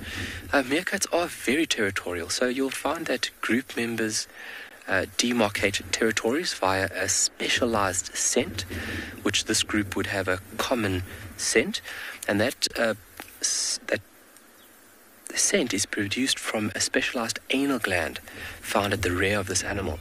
And if uh, a group member had to wander in to um, a new territory, or if an individual had been broken away from the group, or if he had been driven out, and he had to wander into a an opponent's territory, these individuals will act aggressively. And uh, the alpha male would definitely be the one in the forefront of that charge. Um, but colonies do clash. You would find that there would be a lot of visual display first, and then you normally have groups going their own way. But you can have the instances where they do fight and they can become quite vicious, uh, using claws um, and then using the teeth. Always visual first. Always visual. You want to try and deter your opponent without engaging in conflict. And then, unfortunately, if the visual aspect doesn't work, then they will put the gloves on, so to say. Their tiny little boxing gloves. Um, so yeah, so group, group members can be quite aggressive to um, other groups. Because if you think about the territory is everything, is everything to these animals. It is their available resources which give them the comfortable lifestyle. Um, and obviously, the stronger the group, the more dominant the territory that they would be in, or the healthier the territory that they would be in. So you don't want anybody coming in freeloading on your on your space, so to say.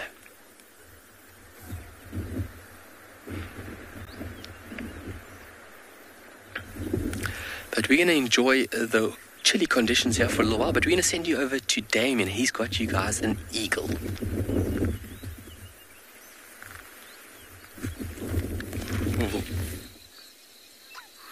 You're back with us here at &Beyond Phinda, and it seems like Glenn and I can't get away from these termite alates today. We've just found another massive emergence where there's maybe a couple of holes there because it seems like there's termites flying up from the ground in a couple of different places there. And there's a Wahlberg's eagle that has been basically standing over the hole. And there's just, every time a termite alate flies up off the ground, it just grabs it and eats it. And it's been here for maybe the last 10 minutes or so, absolutely gorging itself. And if you look very carefully, now that it's standing with its head up a little bit, look at its chest. See how pronounced it is. It's quite a big bulge there. And that, that's how full its crop is. Its crop is rapidly filling up with um, with termite alates, almost like a like a lion or a, or a leopard's belly after they've gorged themselves on on a carcass.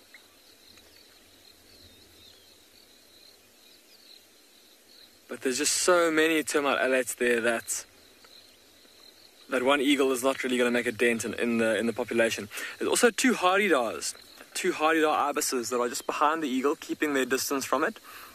They're also picking up alates individually and feeding on them.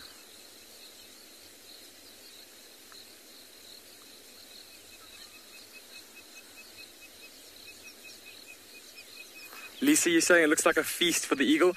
Most definitely, Lisa. This is, yeah, like I said, this is the eagle equivalent of a pride of lions on a buffalo carcass or a, or a, leopard on, a, on, an impala or, a, or an nyala or a bushbuck. It's, it's a proper feast for, the, for this eagle. Like I said earlier, super nutritious, high in calories, excellent fuel for this eagle.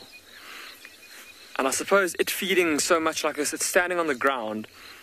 It's hardly using any, any, any energy doing this. This is a very energy efficient way for this eagle to be feeding. It's not flapping its wings, it's not having to dive in or swoop in.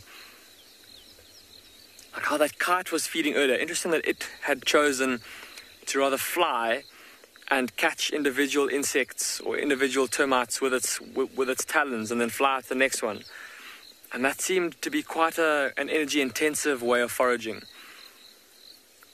compared to this eagle that's literally just standing on the ground and it hasn't moved its feet. it's just standing there.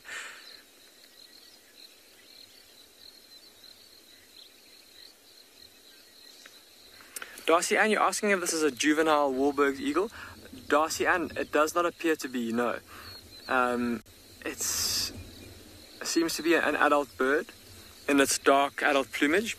Uh, a dark morph Wahlberg's eagle. I'm sure, I don't know, Darcy Ann, if you've managed to, if you've been able to see any of the different color morphs that the Wahlberg's eagle does does come in, if that makes sense. They it's kind of three different different colors that we'll see them in. There's this very dark brown, we sometimes see a lighter brown color variant, and every now and then a very pale, almost white variant. I'm just going to pull up my bird book so I can show you, Darcy Ann, what a juvenile looks like. But I see my bird book doesn't have a photograph of a juvenile.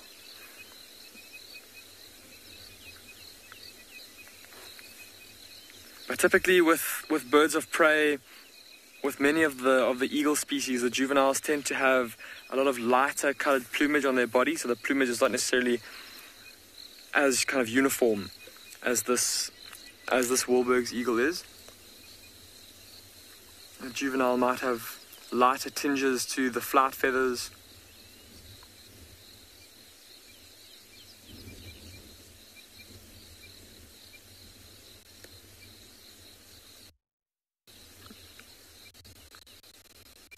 Interesting to watch, and Glenn and I were just, were just discussing it now, how this eagle seems to get rid of the of the of the wings of the termite alate. Um, it kind of like it grabs the alate and then almost like uses its beak to get to get rid of the wings. It, I think it's taking in a couple of the wings every now and then, but I think for the most part they're dropping off.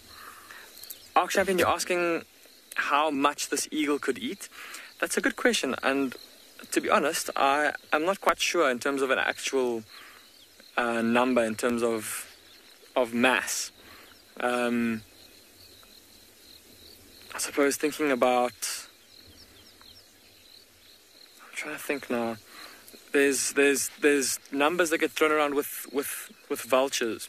Obviously, vultures are not quite the same as eagles, but like with a a white-backed vulture, if they're feeding on a carcass, they can normally get, I think if I'm not mistaken, close to a kilogram um, of food that they can eat in a sitting, which is maybe about a fifth of their own body weight. Um, so a fifth of this eagle's body weight might be maybe about. Well, let's have a look in the bird book to see how much a, a Wahlberg's eagle weighs. If I'm not mistaken, I think it's about a, a kilogram, kilogram and a half, maybe two kilos. Yeah, a male a male Wahlberg's eagle about a kilogram. So um, it doesn't appear that there's any information in this book about exactly how much they can eat in a sitting, but I suppose to hazard a guess, we could work off of that same kind of ratio from a vulture. Like I said, it's it won't be 100% accurate because they're not they're not this, obviously not the same species, not, not not even the same the same kind of bird, I suppose.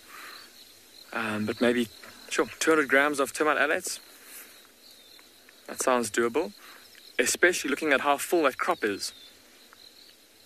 There's a lot of termites that are packed into that into that crop.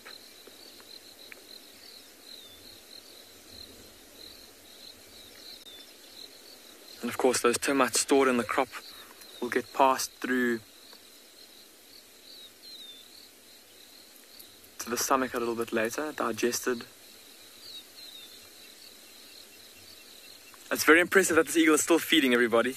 There were there were two eagles here initially, and we sat with the one for quite some time, and it maybe fed for about five minutes or so, but then flew off. And this one's been here it was also it, it, it, started here at the same time as the other one but obviously a bit more hungry we didn't get to see the two of them right side by side but it could be that because with there you go there it flies often with eagles the females tend to be quite a bit larger than the males and so maybe it's a male and female breeding pair male and female pair and this one on the, one on the ground for longer maybe the female slightly larger needing slightly more food, a higher calorie demand. So she's been needing to feed for a bit longer. But there we go. I think she's now satiated. She's filled herself up. And now she can afford to spend the rest of the day resting up in that tree with a full belly and a full crop. And the hardy the hadedas have moved in now. They're taking advantage of the fact that the eagle has left its um, left its its feeding station.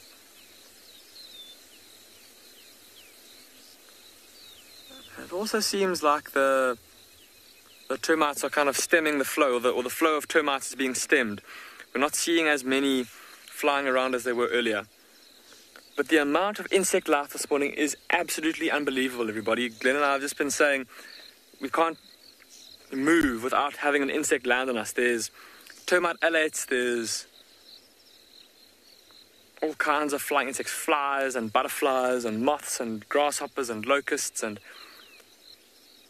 an overload of, of insect life. It's all come out after the rain.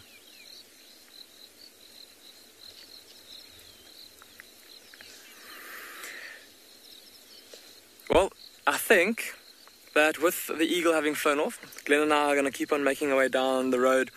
We've moved out of the area where that young female leopard had been hanging around. We're going to go see what else we can find for you this morning.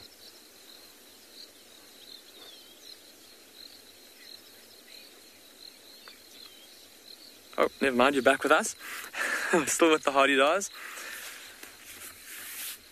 We're currently sitting on our airstrip, everybody, and we came here because from a distance I could see some giraffe and some zebra that were out in the open, but it seems like they've now moved off. I'm just going to quickly scan with my binoculars to see if I can't see where they've gone while we watch the Hadedas. Aha, I see the zebra and I see the giraffe. We're gonna make our way there, and when you come back to us, hopefully we'll have them to show you.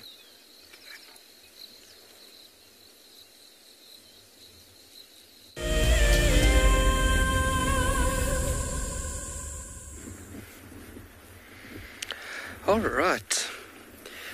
I'm to give you guys a few minutes just to sit and enjoy this scene and all that comes with it.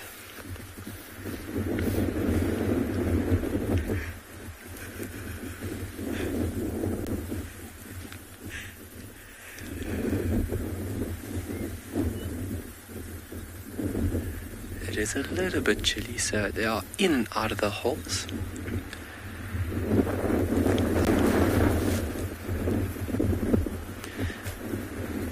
Maybe I should try and whistle for them.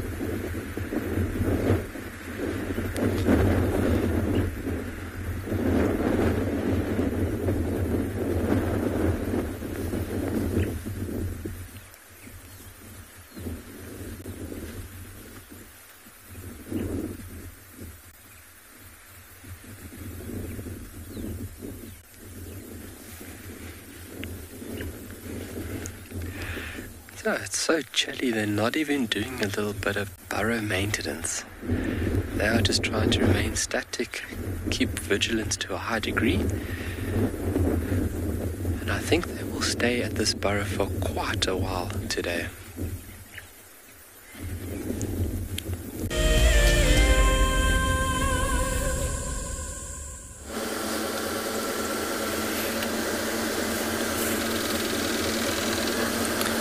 Unfortunately, no sign of Kuchava and the cub coming out. We've driven slowly, slowly, slowly up and down, just trying to wait for her to come out of this block. It's not a very big block, and I would have thought by now she would be out, but um, maybe I missed her. Maybe she went over the road. It's not easy for tracks. Um, I just hear an alarm call? Just reverse quickly. I thought I just heard a bird alarm call. There's a little game path to our left here. She might be on that game path.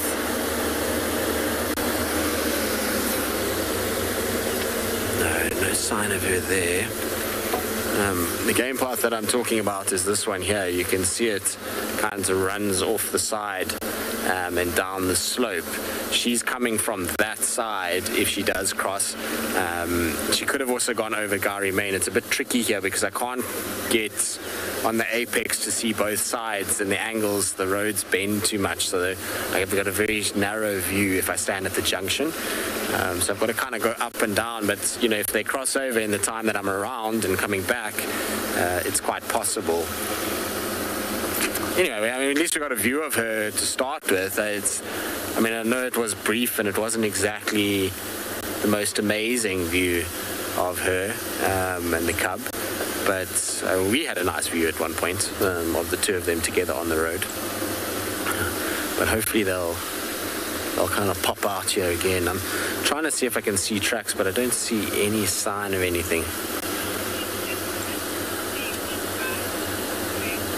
Craig, we answered this question yesterday um, evening, pretty in depth. Um, but challenging aspects of being a guide, being away from family and friends, um, the, the kind of distance that you have from them is always very, very difficult. So you're far from a support structure um, when things are going bad, and you generally just, you know, miss everything that you know family brings. Um, I think that's probably the hardest part about it, um, is that you, you're pretty much out on your own in these places. So yeah, and you, for long periods of time, you you work every single day of the week for six weeks at a time, um, which can be taxing at times. So yeah. Oh, where are you guys? Could have gone anywhere from here now. It's been quite a while. I mean, they might even have a kill in the block there. They might have just laid down in the grass. I mean, these are all options that could have taken place for them. Um, if they came out onto this road, they should have been out long ago already. The distance from where they went in versus where they um, they would have come out on this straight section of road that we're on now, Gowrie Main, um, they should have been out already. So, you know, it was the distance was very, very short. Um, and her general direction of travel was north initially, and then she cut kind of eastwards. So that's why I thought maybe she'll pop out on the driveway here, um, and we'll be able to kind of pick her up. But it's tricky because I can't see far enough down the driveway to see if she comes out as well as this road. I mean, this would be the angles that we have. So this road is covered really nicely, but this one is not because if she did cut up and move, this road bends like this and she'll come out on the other side of the bend. Um, but maybe it's worth just sitting for a little bit and listening and seeing if we pick up any signs of a francolin or a squirrel or there's squirrel's alarm calling now.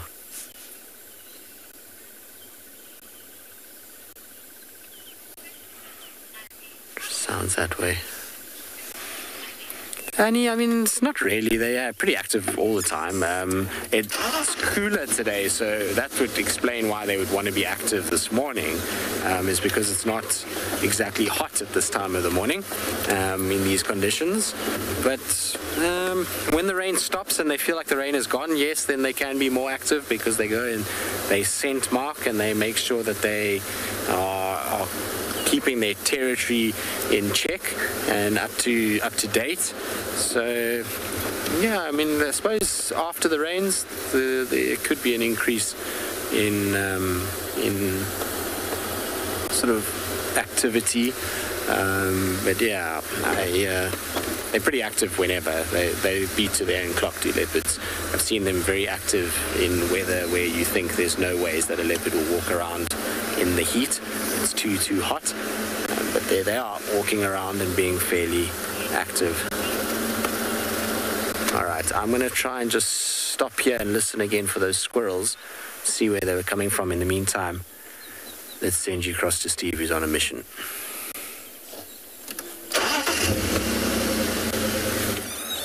Hmm. Well, of course you found leopards. That's what it does.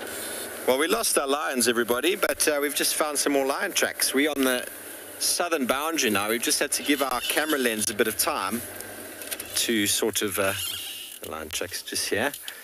Give our camera lens some time to sort of stop being so steamy and misty. But those tracks you can see are not as fresh as the ones we were following.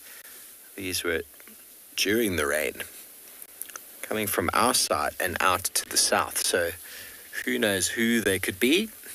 A little bit more to the right, down. There we go. Now the tracks over here. You can see that the rain is on top of them. They're not very clear.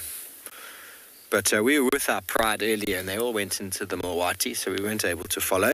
And we went home to see if we could get the camera sorted, but it just needed some time to get itself de-steamed. So we're going to continue on along our little southern boundary, see if we can find any activity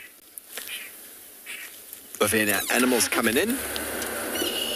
The rain still seems to be looming.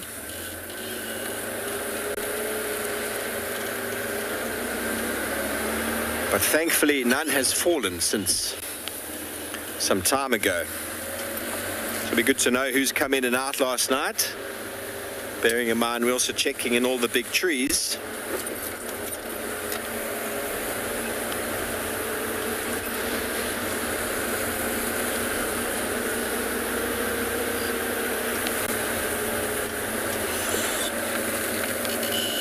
Some zebra were running around here.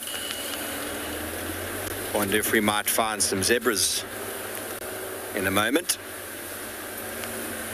Like the wildebeest, the zebra get preyed upon by lions in these conditions quite heavily.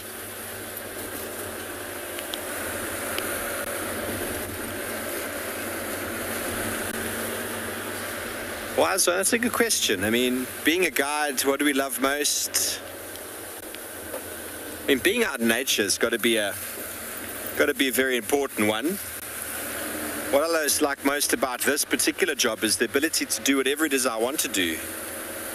Being a guide, having guests on the back, you have expectations of what they want to see, what they need to do.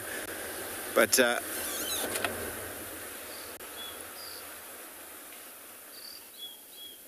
some squirrels alarm calling.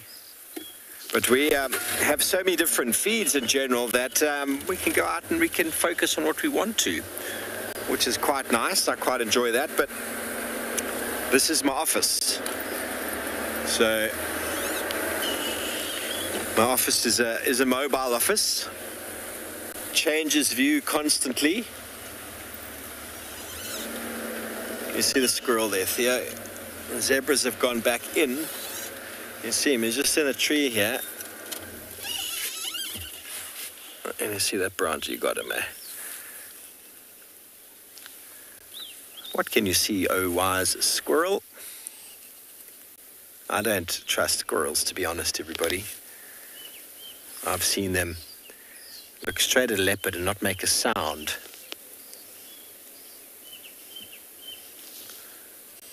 He's looking straight down.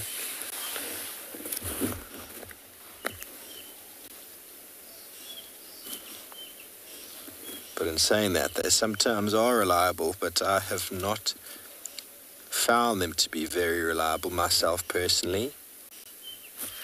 For birds of prey, most definitely, they've got this high pitch that uh, often indicates a bird of prey. Those I find very reliable, but the, this alarm call, bearing in mind it could be for a snake, it could be for a mongoose, it could be for something small running around on the floor. Hello, Ethan, age four. We don't have flying squirrels in South Africa. And these squirrels are very mobile in the trees, but they, they haven't needed or desired the need to fly through the canopy like flying foxes or squirrels have in other parts of the world. These guys are very good at running around on the ground and they can go from one tree to another pretty easily.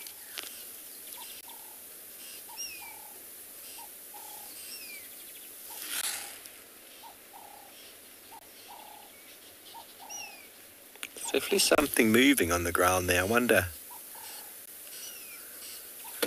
can just go back a bit. I know they do, but I mean, when you're a small squirrel, you get eaten by everything. So it would make sense that you shout at it all. That's why it's hard to say exactly what it might be shouting at sometimes. They don't have a different alarm call for a ground predator as they would for an aerial.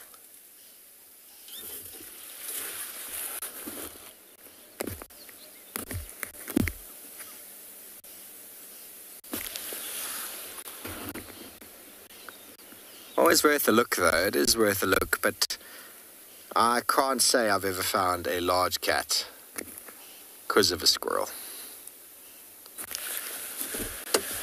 Okay, well, we're going to move on. I can't see anything in the long grass.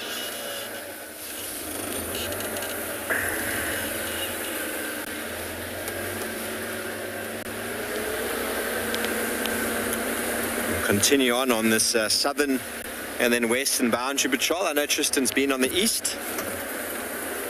Don't think he got this side. He might have. He might have checked the southern side. I'm not actually sure which way he went around. Our game drive radios are are not working due to due to the rain and technical issues in that regard up at the the main tower.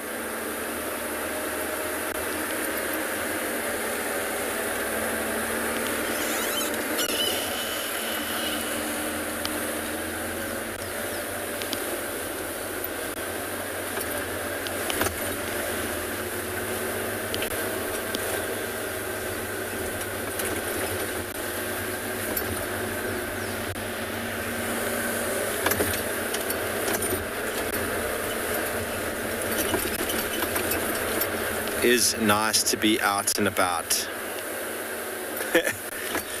Tammy, I don't actually know. I mean, they were predicted to be heavier than they have been, and they were predicted to last until Thursday, so I'm not sure.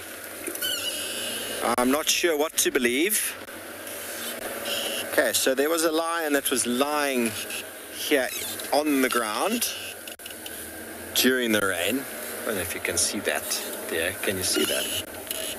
Right over my shoulder over here. There we go. There was a lion lying here at some point. As we spoke earlier about the lions lying down when they're hunting, they move and then they stop and then they move and then they stop and they listen. But um, this individual, it was quite some time ago, it has rained since. So we'll continue on. Maybe we'll be lucky. Maybe there'll be another pride of lions up ahead in the road. But as I said, it's nice to see. So the tracks are going straight along the boundary. It's nice to see who's come in and who's come out. And I reckon this is probably an entirely different pride. Maybe the Nkuhumas have come from the south. That would be nice. I haven't seen them in some time. Might even have been remnants of the Talamatis from the other night, but I don't think so, because it doesn't look like there was an enormous amount of rain on those tracks. The amount of rain that has fallen since the Talamatis made their kill has been huge, and that washes away most signs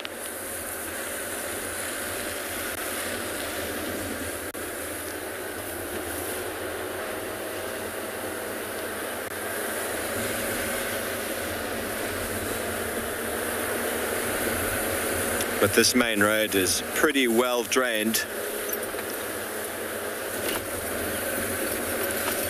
Craig, you want to know the most helpful animal for tracking predators? Well, hyenas are very helpful for helping us find leopards, but they are a predator in their own right. Uh, guinea fowls can be pretty useful, but uh, early in the morning and late in the afternoon, not so much. They, their contact call or their alarm call sound very similar at that time of day. Monkeys and baboons are very reliable because they also then are quite elevated, so they'll often be looking in the direction of, of the predator.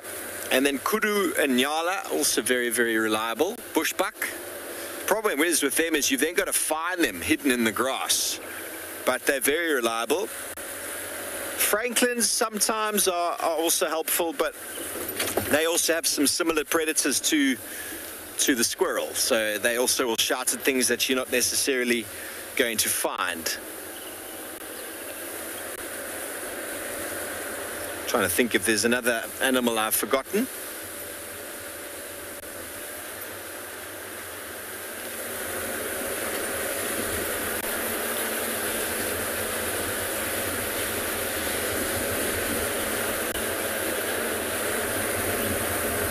think of another one. Bushbuck, Nyala, Impala are quite reliable too. Maybe Tristan can think of another animal that will help him find his leopards. So I think the best animal to help me find leopards is indeed my good friend Tristan.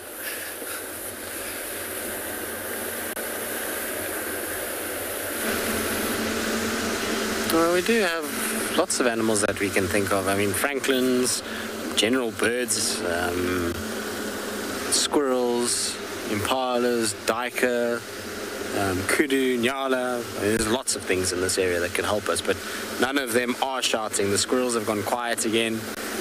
They hear somewhere. I just, I, mean, I don't know if they've, like I say, either crossed behind me. Um, the road is so hard that seeing their tracks is going to be near impossible in the light that we've got. You know, a bit of sunlight would have helped because we would have gotten a nice sort of contrast on the track, but there's none of that. So we've got soft lighting, hard road, makes life difficult. You might think, well, why is the road hard? To be given that it's been raining. It's because where we are, we're up on the on a crest. So this is sandy soils. The water all drains out, and then it goes into a crust when it dries. Uh, and then the leopards stand on it. You can't really see. I mean, you can even just see my vehicle tracks are not easy seen on the left side of the road. The right side easy, but on the left side, you're not seeing much at all. Um, and that's because the left side is much harder and, and less mud. There's more sand up there, um, so you can kind of see a much harder surface. Fiona, most definitely elephants are good at tracking. They 100% know what they're doing. What's that? Hold on a second. Um, they've got incredible senses, so sense of smell, sense of hearing um, is top notch, um, which makes them very good at their job in terms of finding uh, things. It's not anything to worry about. I thought it might have been a leg of a carcass hanging in a marula tree down the hill there, but it's just a branch that's hanging down. Uh, I was just thinking they, they're both quite full, so it's possible that they went to go drink water at the Mulawanini where it's flowing. There's a little pan there, and then obviously they might have picked up the scent of Thandi's cub and just a little loop. And then they've come now back to maybe where they have a kill. I don't know. Uh, that's maybe a theory that I, that could be possible, um, particularly in this block because we haven't seen them come out. So maybe, just maybe, there is a kill inside here. Um, the problem is the signal where we had them is dicey at best.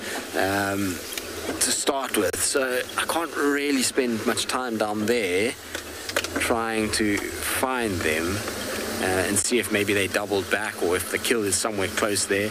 I've checked the trees that are closest, but we do know that Kuchava, much like Thandi, um, does sometimes use the most awkward trees possible.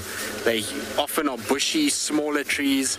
It's not these beautiful big marulas where you think, oh, that'll be nice if a leopard uses that. And there's a reason for that. They don't like to be as showy um, and, and kind of have their kills on display for people to see easily. They'd rather have it a little bit more hidden in a bushier, thicker um, area. And that might be what's happened over the course of the night, she's stashed it in one of these like little wattles or bush willows or something like that. I've seen a lot of cats use wattles particularly. Um, it makes it much harder for other cats to spot them um, up in the tree if they have the kill. There's no ways that they shouldn't have come out by now. I mean, it's been a long time since we saw them, and this block is not big. I mean, for me to walk this block would have taken me 10 minutes, not even five minutes. Um, so they should have been out long ago. There must be something inside here, unless I've missed the track. Justin, just as good as yours and ours. Um, they're very, very, very good at remembering things. To give you an idea of how good their memory is, Thandi, after 12 years, knew exactly where to go and den with Kalamba, um, even though it wasn't her kind of core territory, and that's because she was put there as a cub. She used a lot of the same den sites that she was put in you know, when she was little by her mom. Uh, so that gives you an idea of how good the memory is. is she's been able to recall uh, where she was kept and where it was safe for her, and then utilize the same ones. And we know this because there's people that have worked here long enough um, to have seen her in those dens. Um, and she's using the exact same termite mound, same hole in the bank, same little root structure in a drainage line. So she's pretty consistent um, with where and what she's doing. Um, and so that means that there's definitely a, a memory. Ah, nice. Paradise whydah sitting on the tree. I'll have a look at this guy. Might as well. Not like our leopards have come out. Um, it's a beautiful bird. It's got its back to us at the moment. Um, it's so it's tricky to see it. Um, if you see in the marula, there we go. Um, so it's tricky to see its colors. It'll just be a black back, black head, and then these long black streaming tail feathers that come down. But they've got the most beautiful little yellow collar with this burnt kind of reddish orange um, on the throat patch. It's very, very pretty. And this is their breeding plumage. They get this in the summer. In the winter time, they, that all goes away and they go into what's called eclipse plumage or um, non-breeding plumage, which is a lot more kind of drab and um, dull in coloration and, and, resembles more the female for camouflage. So this is just in the breeding season to attract mates, but during the rest of the year, they don't want to attract too much attention, so rather have um, you know, a drab coloration to blend in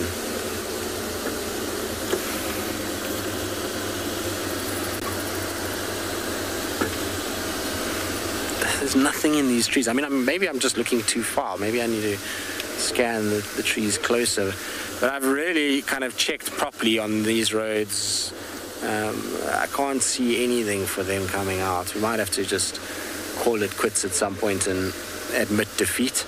Not that I like ever admit, admitting defeat. If, you know, once you've got a sniff, it's always good to kind of keep going.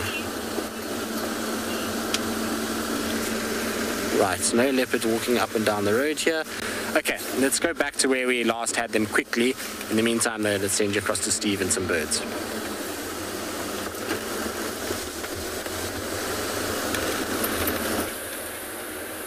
Well, welcome back. We are still on our, well, we're on the western boundary now.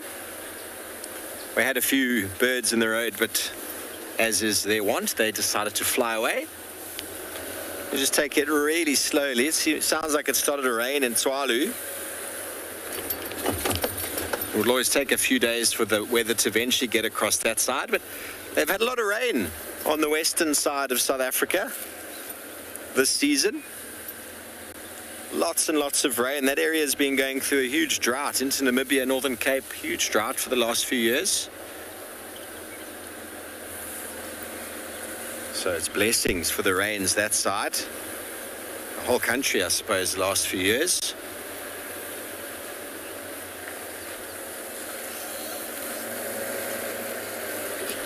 Hello, Chelsea, age seven. You want to know why boy lions have manes? Well, first of all, I think it looks pretty cool, don't you?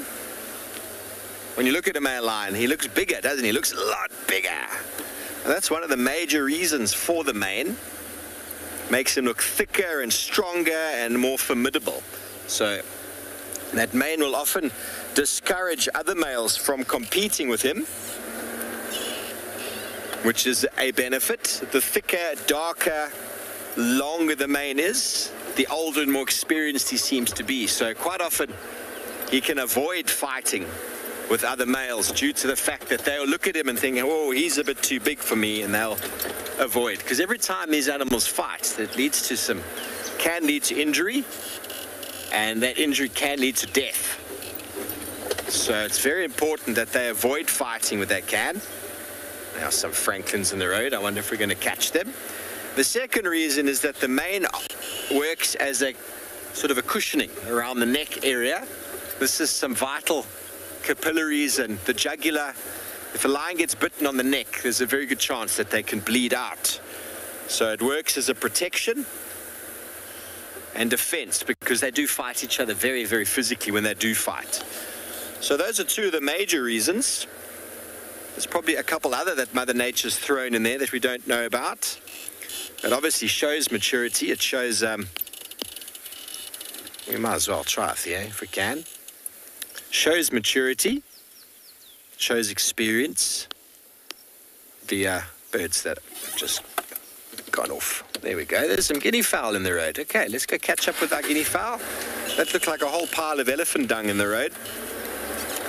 And I think the guinea fowls are quite enjoying the elephant dung. They love the fermented material. There's some ellie tracks here. A herd of elephants would be nice to see now. That's a road that goes into Djuma. We will not be going in there. That looks like an absolute mess from the rains. Just gonna stop over here and we will get you the okay well it seems like the guinea fowls have found some dung in the road and at the same time tristan has caught up with an animal that's probably deposited it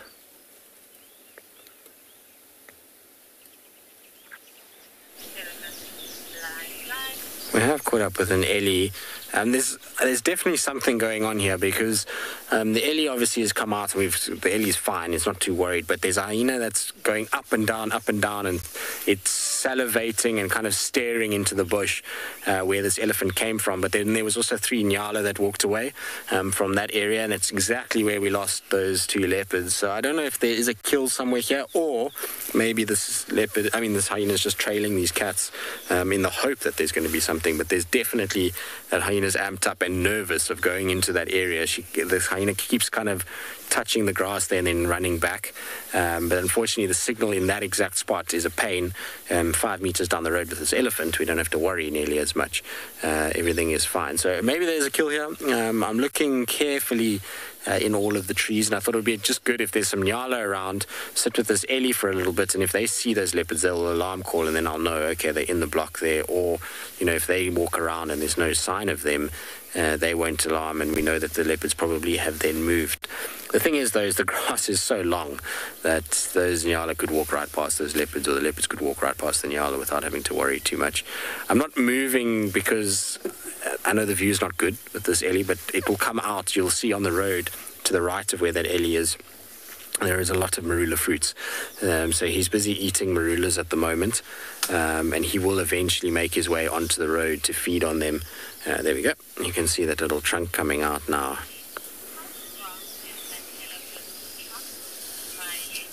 Miley very strong. Um, Ellie's trunks are um, pretty much all made of muscle, um, and they weigh at about 150 kilograms on a big bull like this. Um, so, a 300 pound muscular structure is really strong. I mean, I've seen them grip trees and pull them out the ground. Um, that you know, wouldn't most men wouldn't be able to do that, even if there was groups of them together.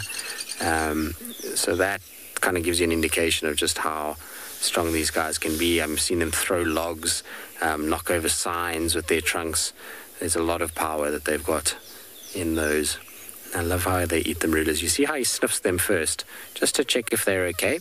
Um, if they're not ripe, then he kind of brushes over them. You're little greedy guts. You're grabbing three or four at a time, aren't you? Let's see how many he puts in his trunk at once. Okay, there's one, two, three,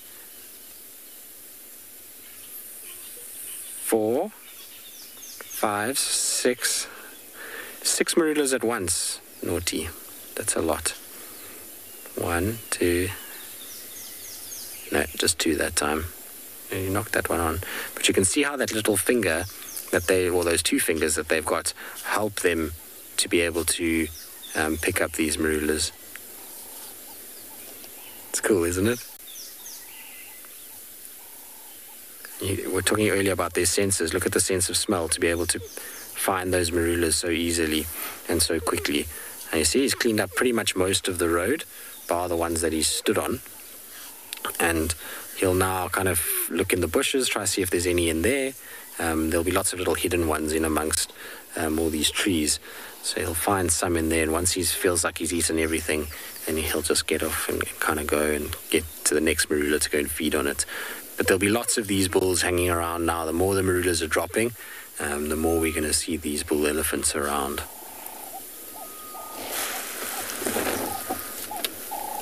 Wonder where the hyena's gone. It was behind us at one point, um, just sniffing about.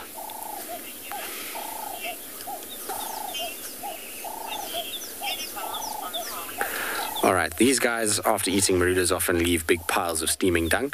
And it sounded like Steve earlier said that the guinea fowls were making their way towards them. So let's go and see if they've gotten to the dung or if they're up to something else.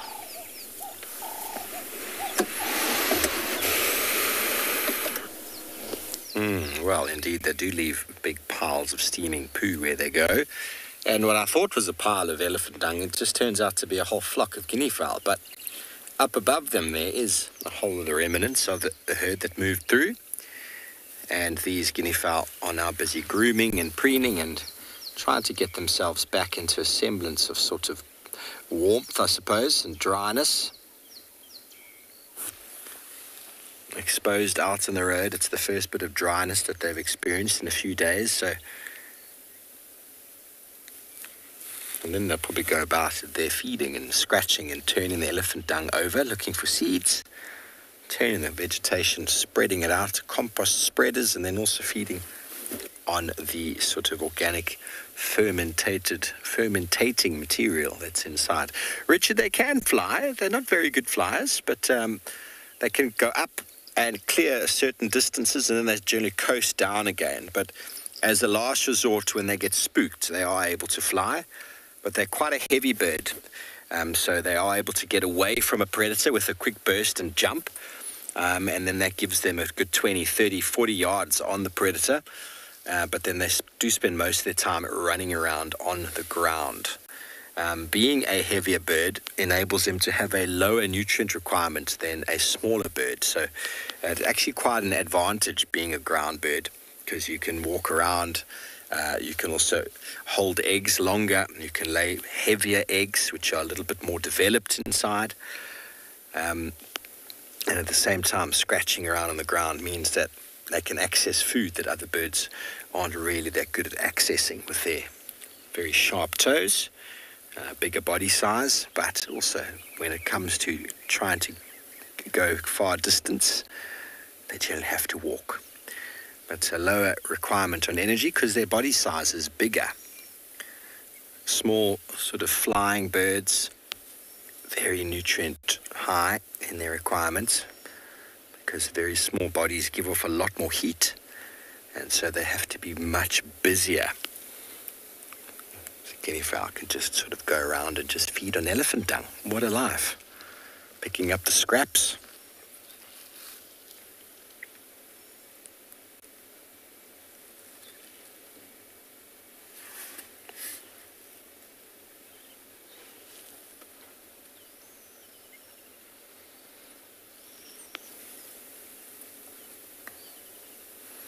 This is the helmeted guinea fowl. If you were interested, we only get the one species in this area. There are two locally found in the Greater Kruger.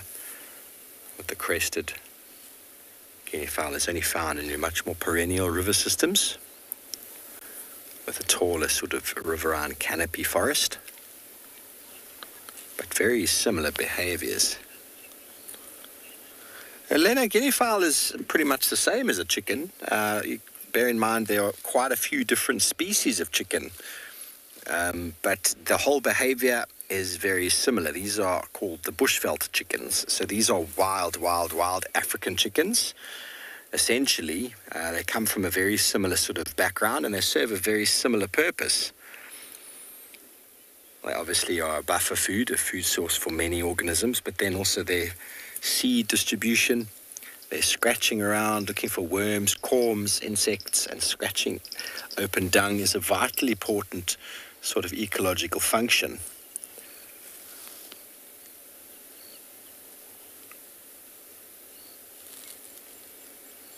So they're very similar. I suppose you get some chickens that are smaller and some that are bigger.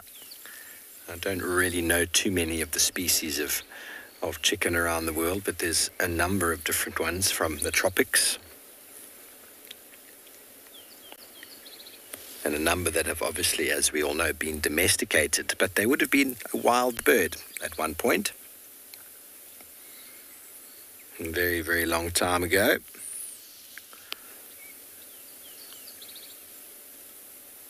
And now most chickens you see around the world are very reliant on people for keeping them alive. There are some very hardy species we find in Africa called the bantam, bantam chickens. My car is actually named after a bantam. It's very tough and hardy and durable, durable to diseases, and pretty good at fending for themselves. There's lots of animals out in these in the African wilderness and the African farmlands looking to catch and kill chickens. Birds of prey, caracal, serval, wild cats, domestic cats.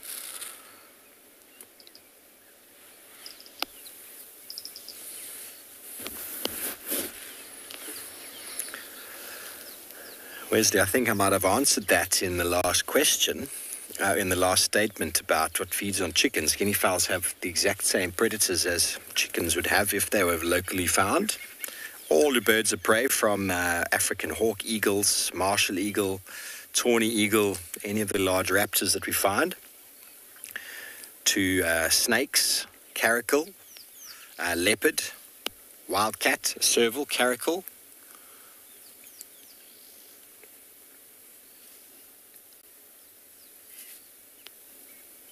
And they breed very quickly, though. They, they do very, very well. They're very hardy species.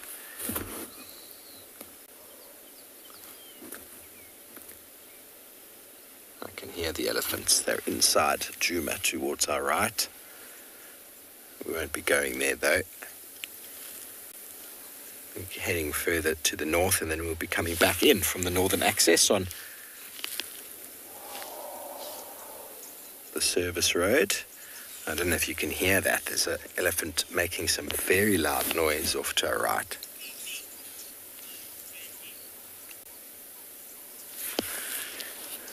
Randy, guinea fowls make two different sounds. One is a very loud,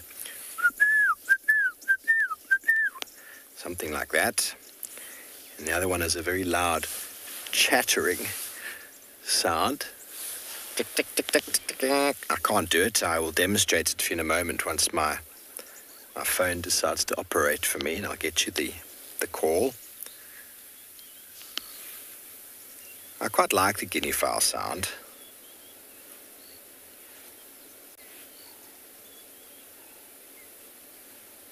Are you ready to listen?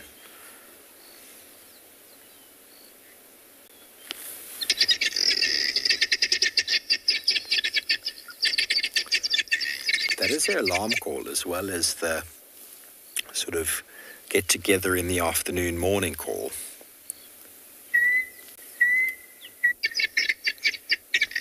Now listen now for the whistle.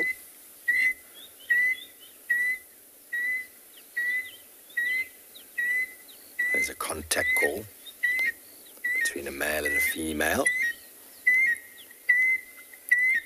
It's sort of a collecting, getting them together, breeding call. They pair off later on in the season. And then after having a number of eggs, suddenly you have flocks like this once again.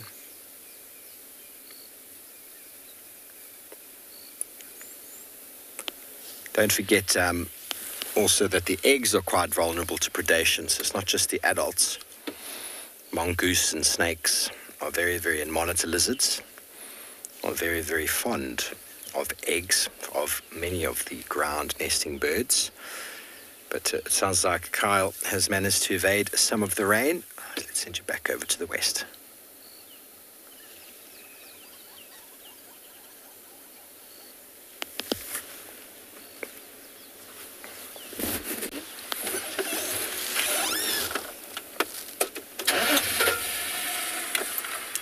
Sounds like you're not going to Kyle.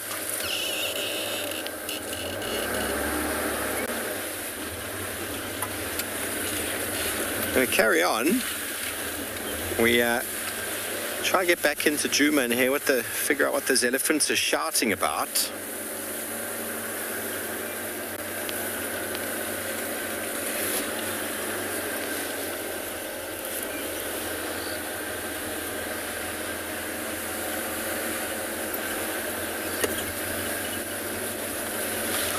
Oxpeckers calling.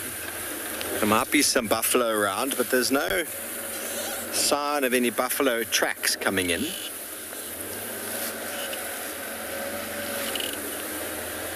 I always like watching guinea fowl when they run like that. They look like an old lady with chucked with their shawl around the shoulders, running around from the cold.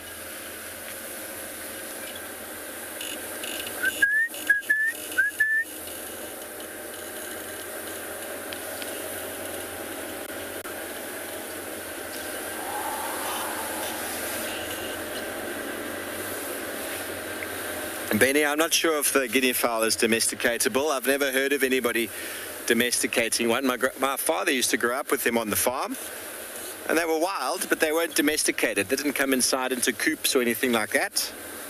Um, so there are many animals around the world and many plants around the world that are not domesticatable, and then there are some that are. What exactly the criteria behind all that is hard to say.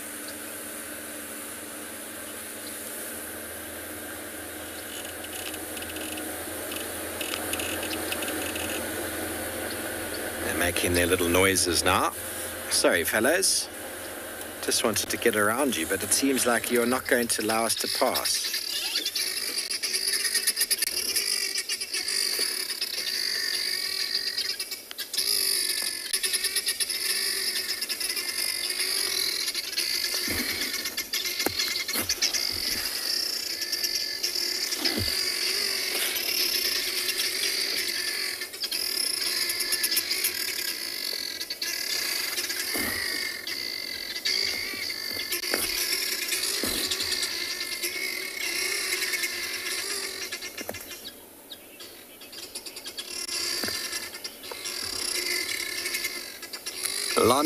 Have the potential to pass through.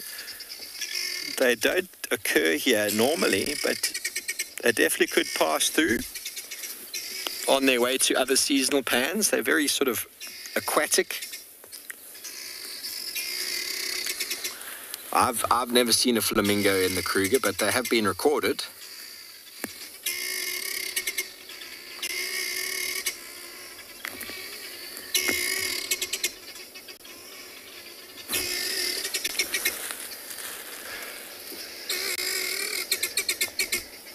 Why are you making so much noise?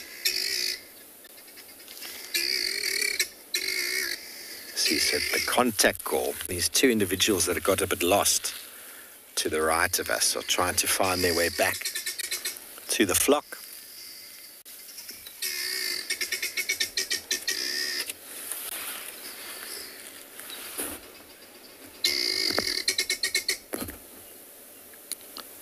So that is a call that normally, if you hear that in sort of latish morning, you can almost be certain there's a predator around. But uh, as you can see, they've just gone and shown us that that is not the case right now.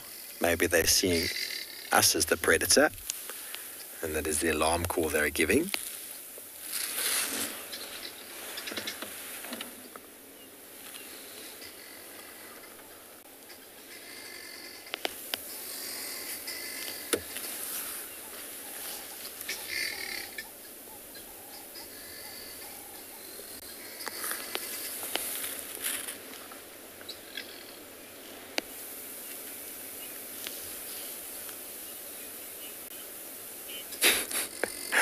I'm afraid I've never tried to measure Ben, but they're pretty quick.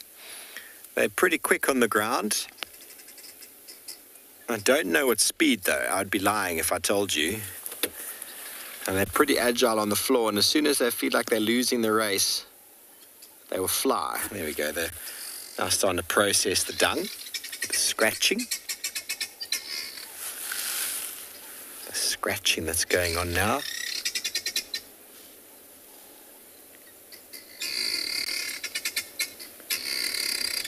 So the spreading out of that material is quite important as it adds. Obviously, we're right on the road now, so we're not really seeing that benefit, but pushing that dung around in the open area spreads the organic material on the surface, which allows increased sort of microbial breakdown and also increases the cover of the soil surface itself, which allows for lots more sort of organisms to live and to decompose underneath uh, elephant and rhino dung that's not scattered like that in the wet season or dealt with by dung beetles ends up becoming very hard um, and solid pieces that eventually get dealt with by termites.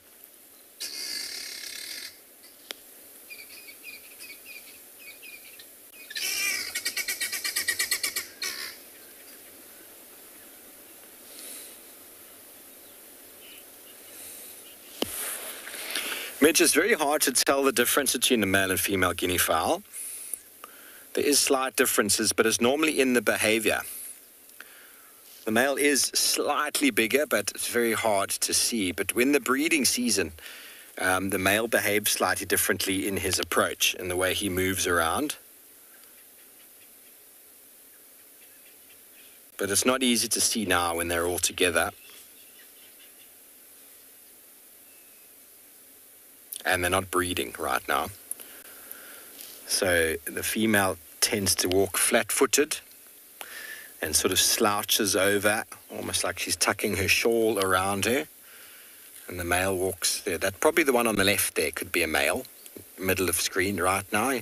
He's sort of walking on his toes. So I mean, it's hard to tell. it's very hard to tell.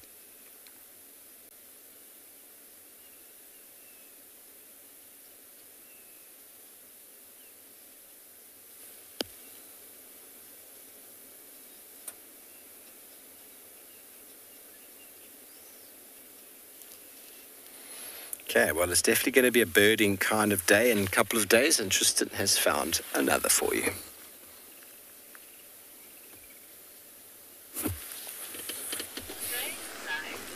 It is a birding kind of day, and we're being charged as we speak by a vociferous uh, Swainson's spur fowl, who I think is taking up the challenge because as I rather was calling, which is generally when they are sort of they marking, well, not marking territory, but advertising that they're around. See if it'll do it again. They have the most beautiful red faces, these birds. Yes, I said that your face is beautiful. Why are you shouting at me?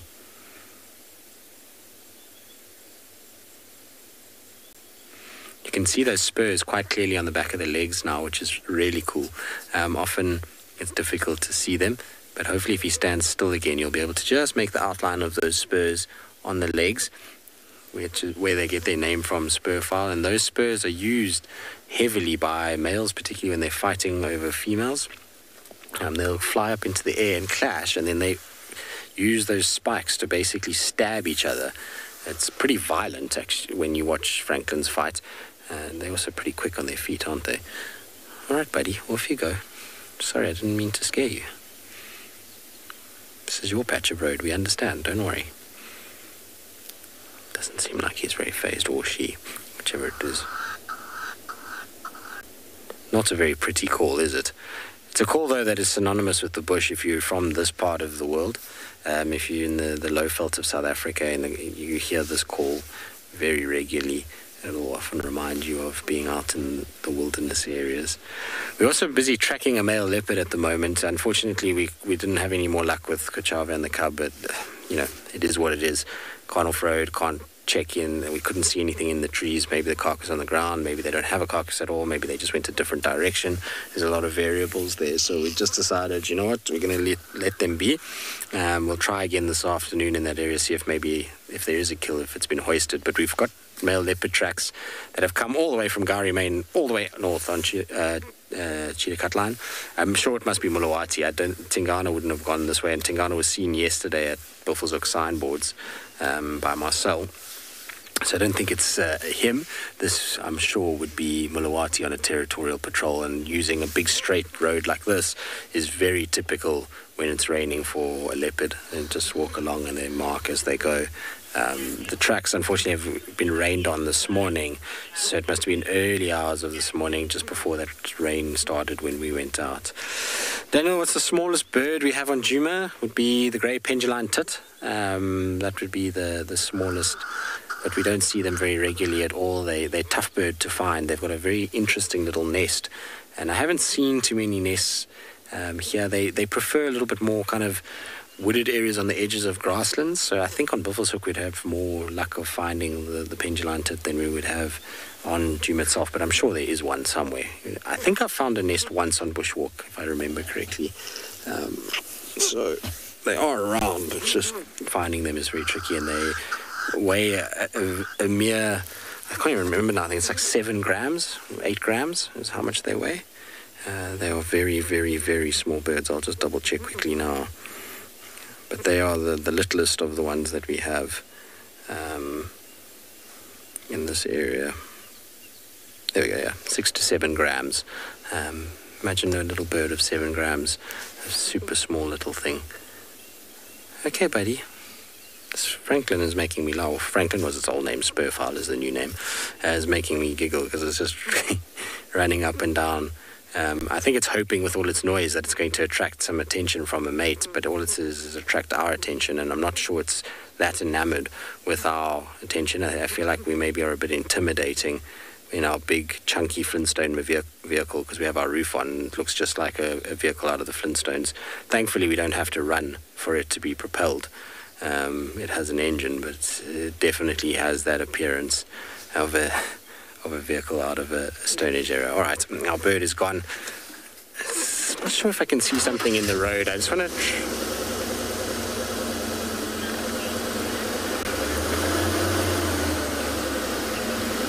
Dr. Rocky Balboa. Um, non-native animals that live in the reserve, Steve and myself. Um, no, I don't know. Um, probably a few different insect species, but nothing that I can that really comes to mind. There was an issue at one point with a, a beetle that was placed in uh, in one of the water sources to try and rid it of hyacinth, um, but I think that's been taken care of now. Uh, so no real nyala actually. There we go. There's a very good one. And nyala is an invasive animal. It shouldn't be here. Um, nyalas are supposed to be in Zululand, so at Phinda.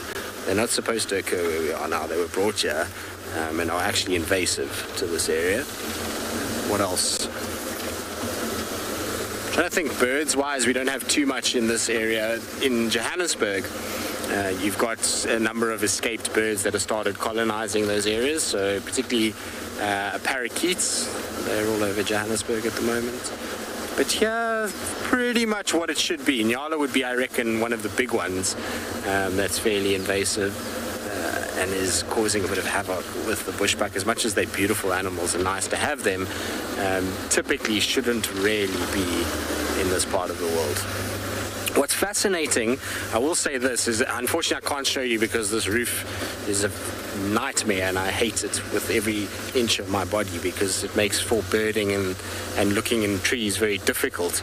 Um, but there is hundreds of uh, European rollers that are just flying from west to east literally it's just a constant stream of European rollers coming over um, the whole way up to the cut line. I've just been watching them in threes and fours, kind of crossing our path, going along um, towards uh, the east. So I don't know why they're heading east, but they are at the moment.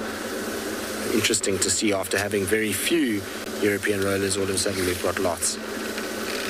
So our male leopard cut off somewhere. I think he cut off at Hippo Pools Road, but again, a car has driven here this morning, so it drove over the top of the track, and we can't use Hippo Pools Road anyway this morning, so even if he did go there, there's not really much I can do. I was just driving the cheetah cut line in the hope that he was still on it, but it was going to be a very long shot, given that the track wasn't from right now, now, now. If it had been top of the rain, it would have been really good, but it was before, and so cat could be anywhere um, in this near vicinity.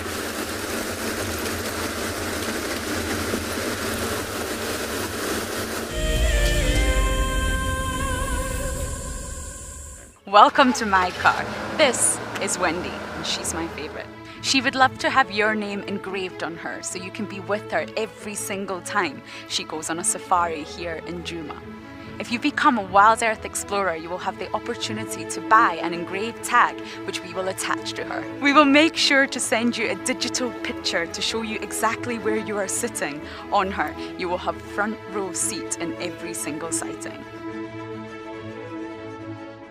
What makes &Beyond Phinda Private Game Reserve so special is our massive array of habitats.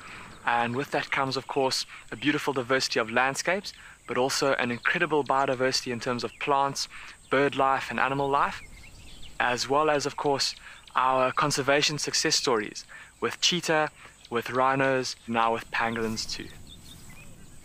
Catch up with the guides daily here on Wild Earth. Have you been watching Wild Earth and dreamt of being right there on safari with one of the guides? Well, now you can. Wild Earth is offering you a chance to buy a ticket to dream. You or a friend can hop on board a live Wild Earth show and join our guide on safari. The ticket is redeemable at any of our locations anytime in the future. Only a limited number of tickets are available, so don't wait. Get your ticket now and start dreaming. Terms and conditions apply. My name is Ross, and I'm a field guide at &Beyond Phinda Private Game Reserve. I love getting questions from guests on Wild Earth because I love sharing and learning information about nature with new people, and it also makes me feel like you're all joining me in real life. If you want to ask a question on Wild Earth, then you need to register on our website. Once registered, go to our live safari page and submit your question below our live feed. In a world full of upheaval, we all need a quiet and safe space to breathe. A place where anxiety and stress don't exist.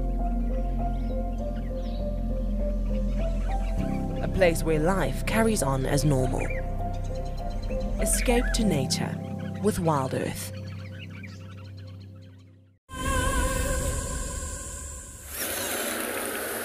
Welcome back to Djuma, everybody, where the rain seems to have abated for now. How long that will go on for is debatable, but we've got some very industrious fellows on the floor over here that are making hay while the sun does not shine. Just over here. Got some harvester termites that are busy left, left, they're busy accumulating all of the grass material. They're busy harvesting it. And you'll see the hole on the left where all it is being accumulated. And while the UV is at its lowest, these termites being very industrious and harvesting, harvesting, harvesting, hence the name harvester termite. They have the ability to digest that cellulose material with an enzyme in their gut called cellulase. It helps to digest cellulose. So they don't need to build big fungus growing chambers. They don't have a symbiotic relationship with a fungus growing uh, or with fungus at all. And what I find very interesting is that the fungus growing termite has also got the enzyme cellulase in their digestive system, but they don't use it. They use the fungus instead. So that is a relationship that's gone on for a very, very long time.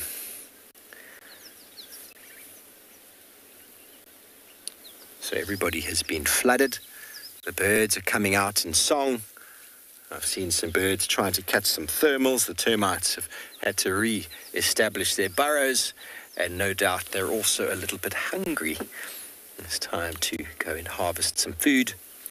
And they are very industrious, aren't they? Very, very industrious indeed. They seem to be getting some leaves as well as grass stalks there. Feeding frenzy. But it has been wonderful being out finally this morning. It's been a few very wet days, and being confined to our quarters has made us a little bit cabin feverish.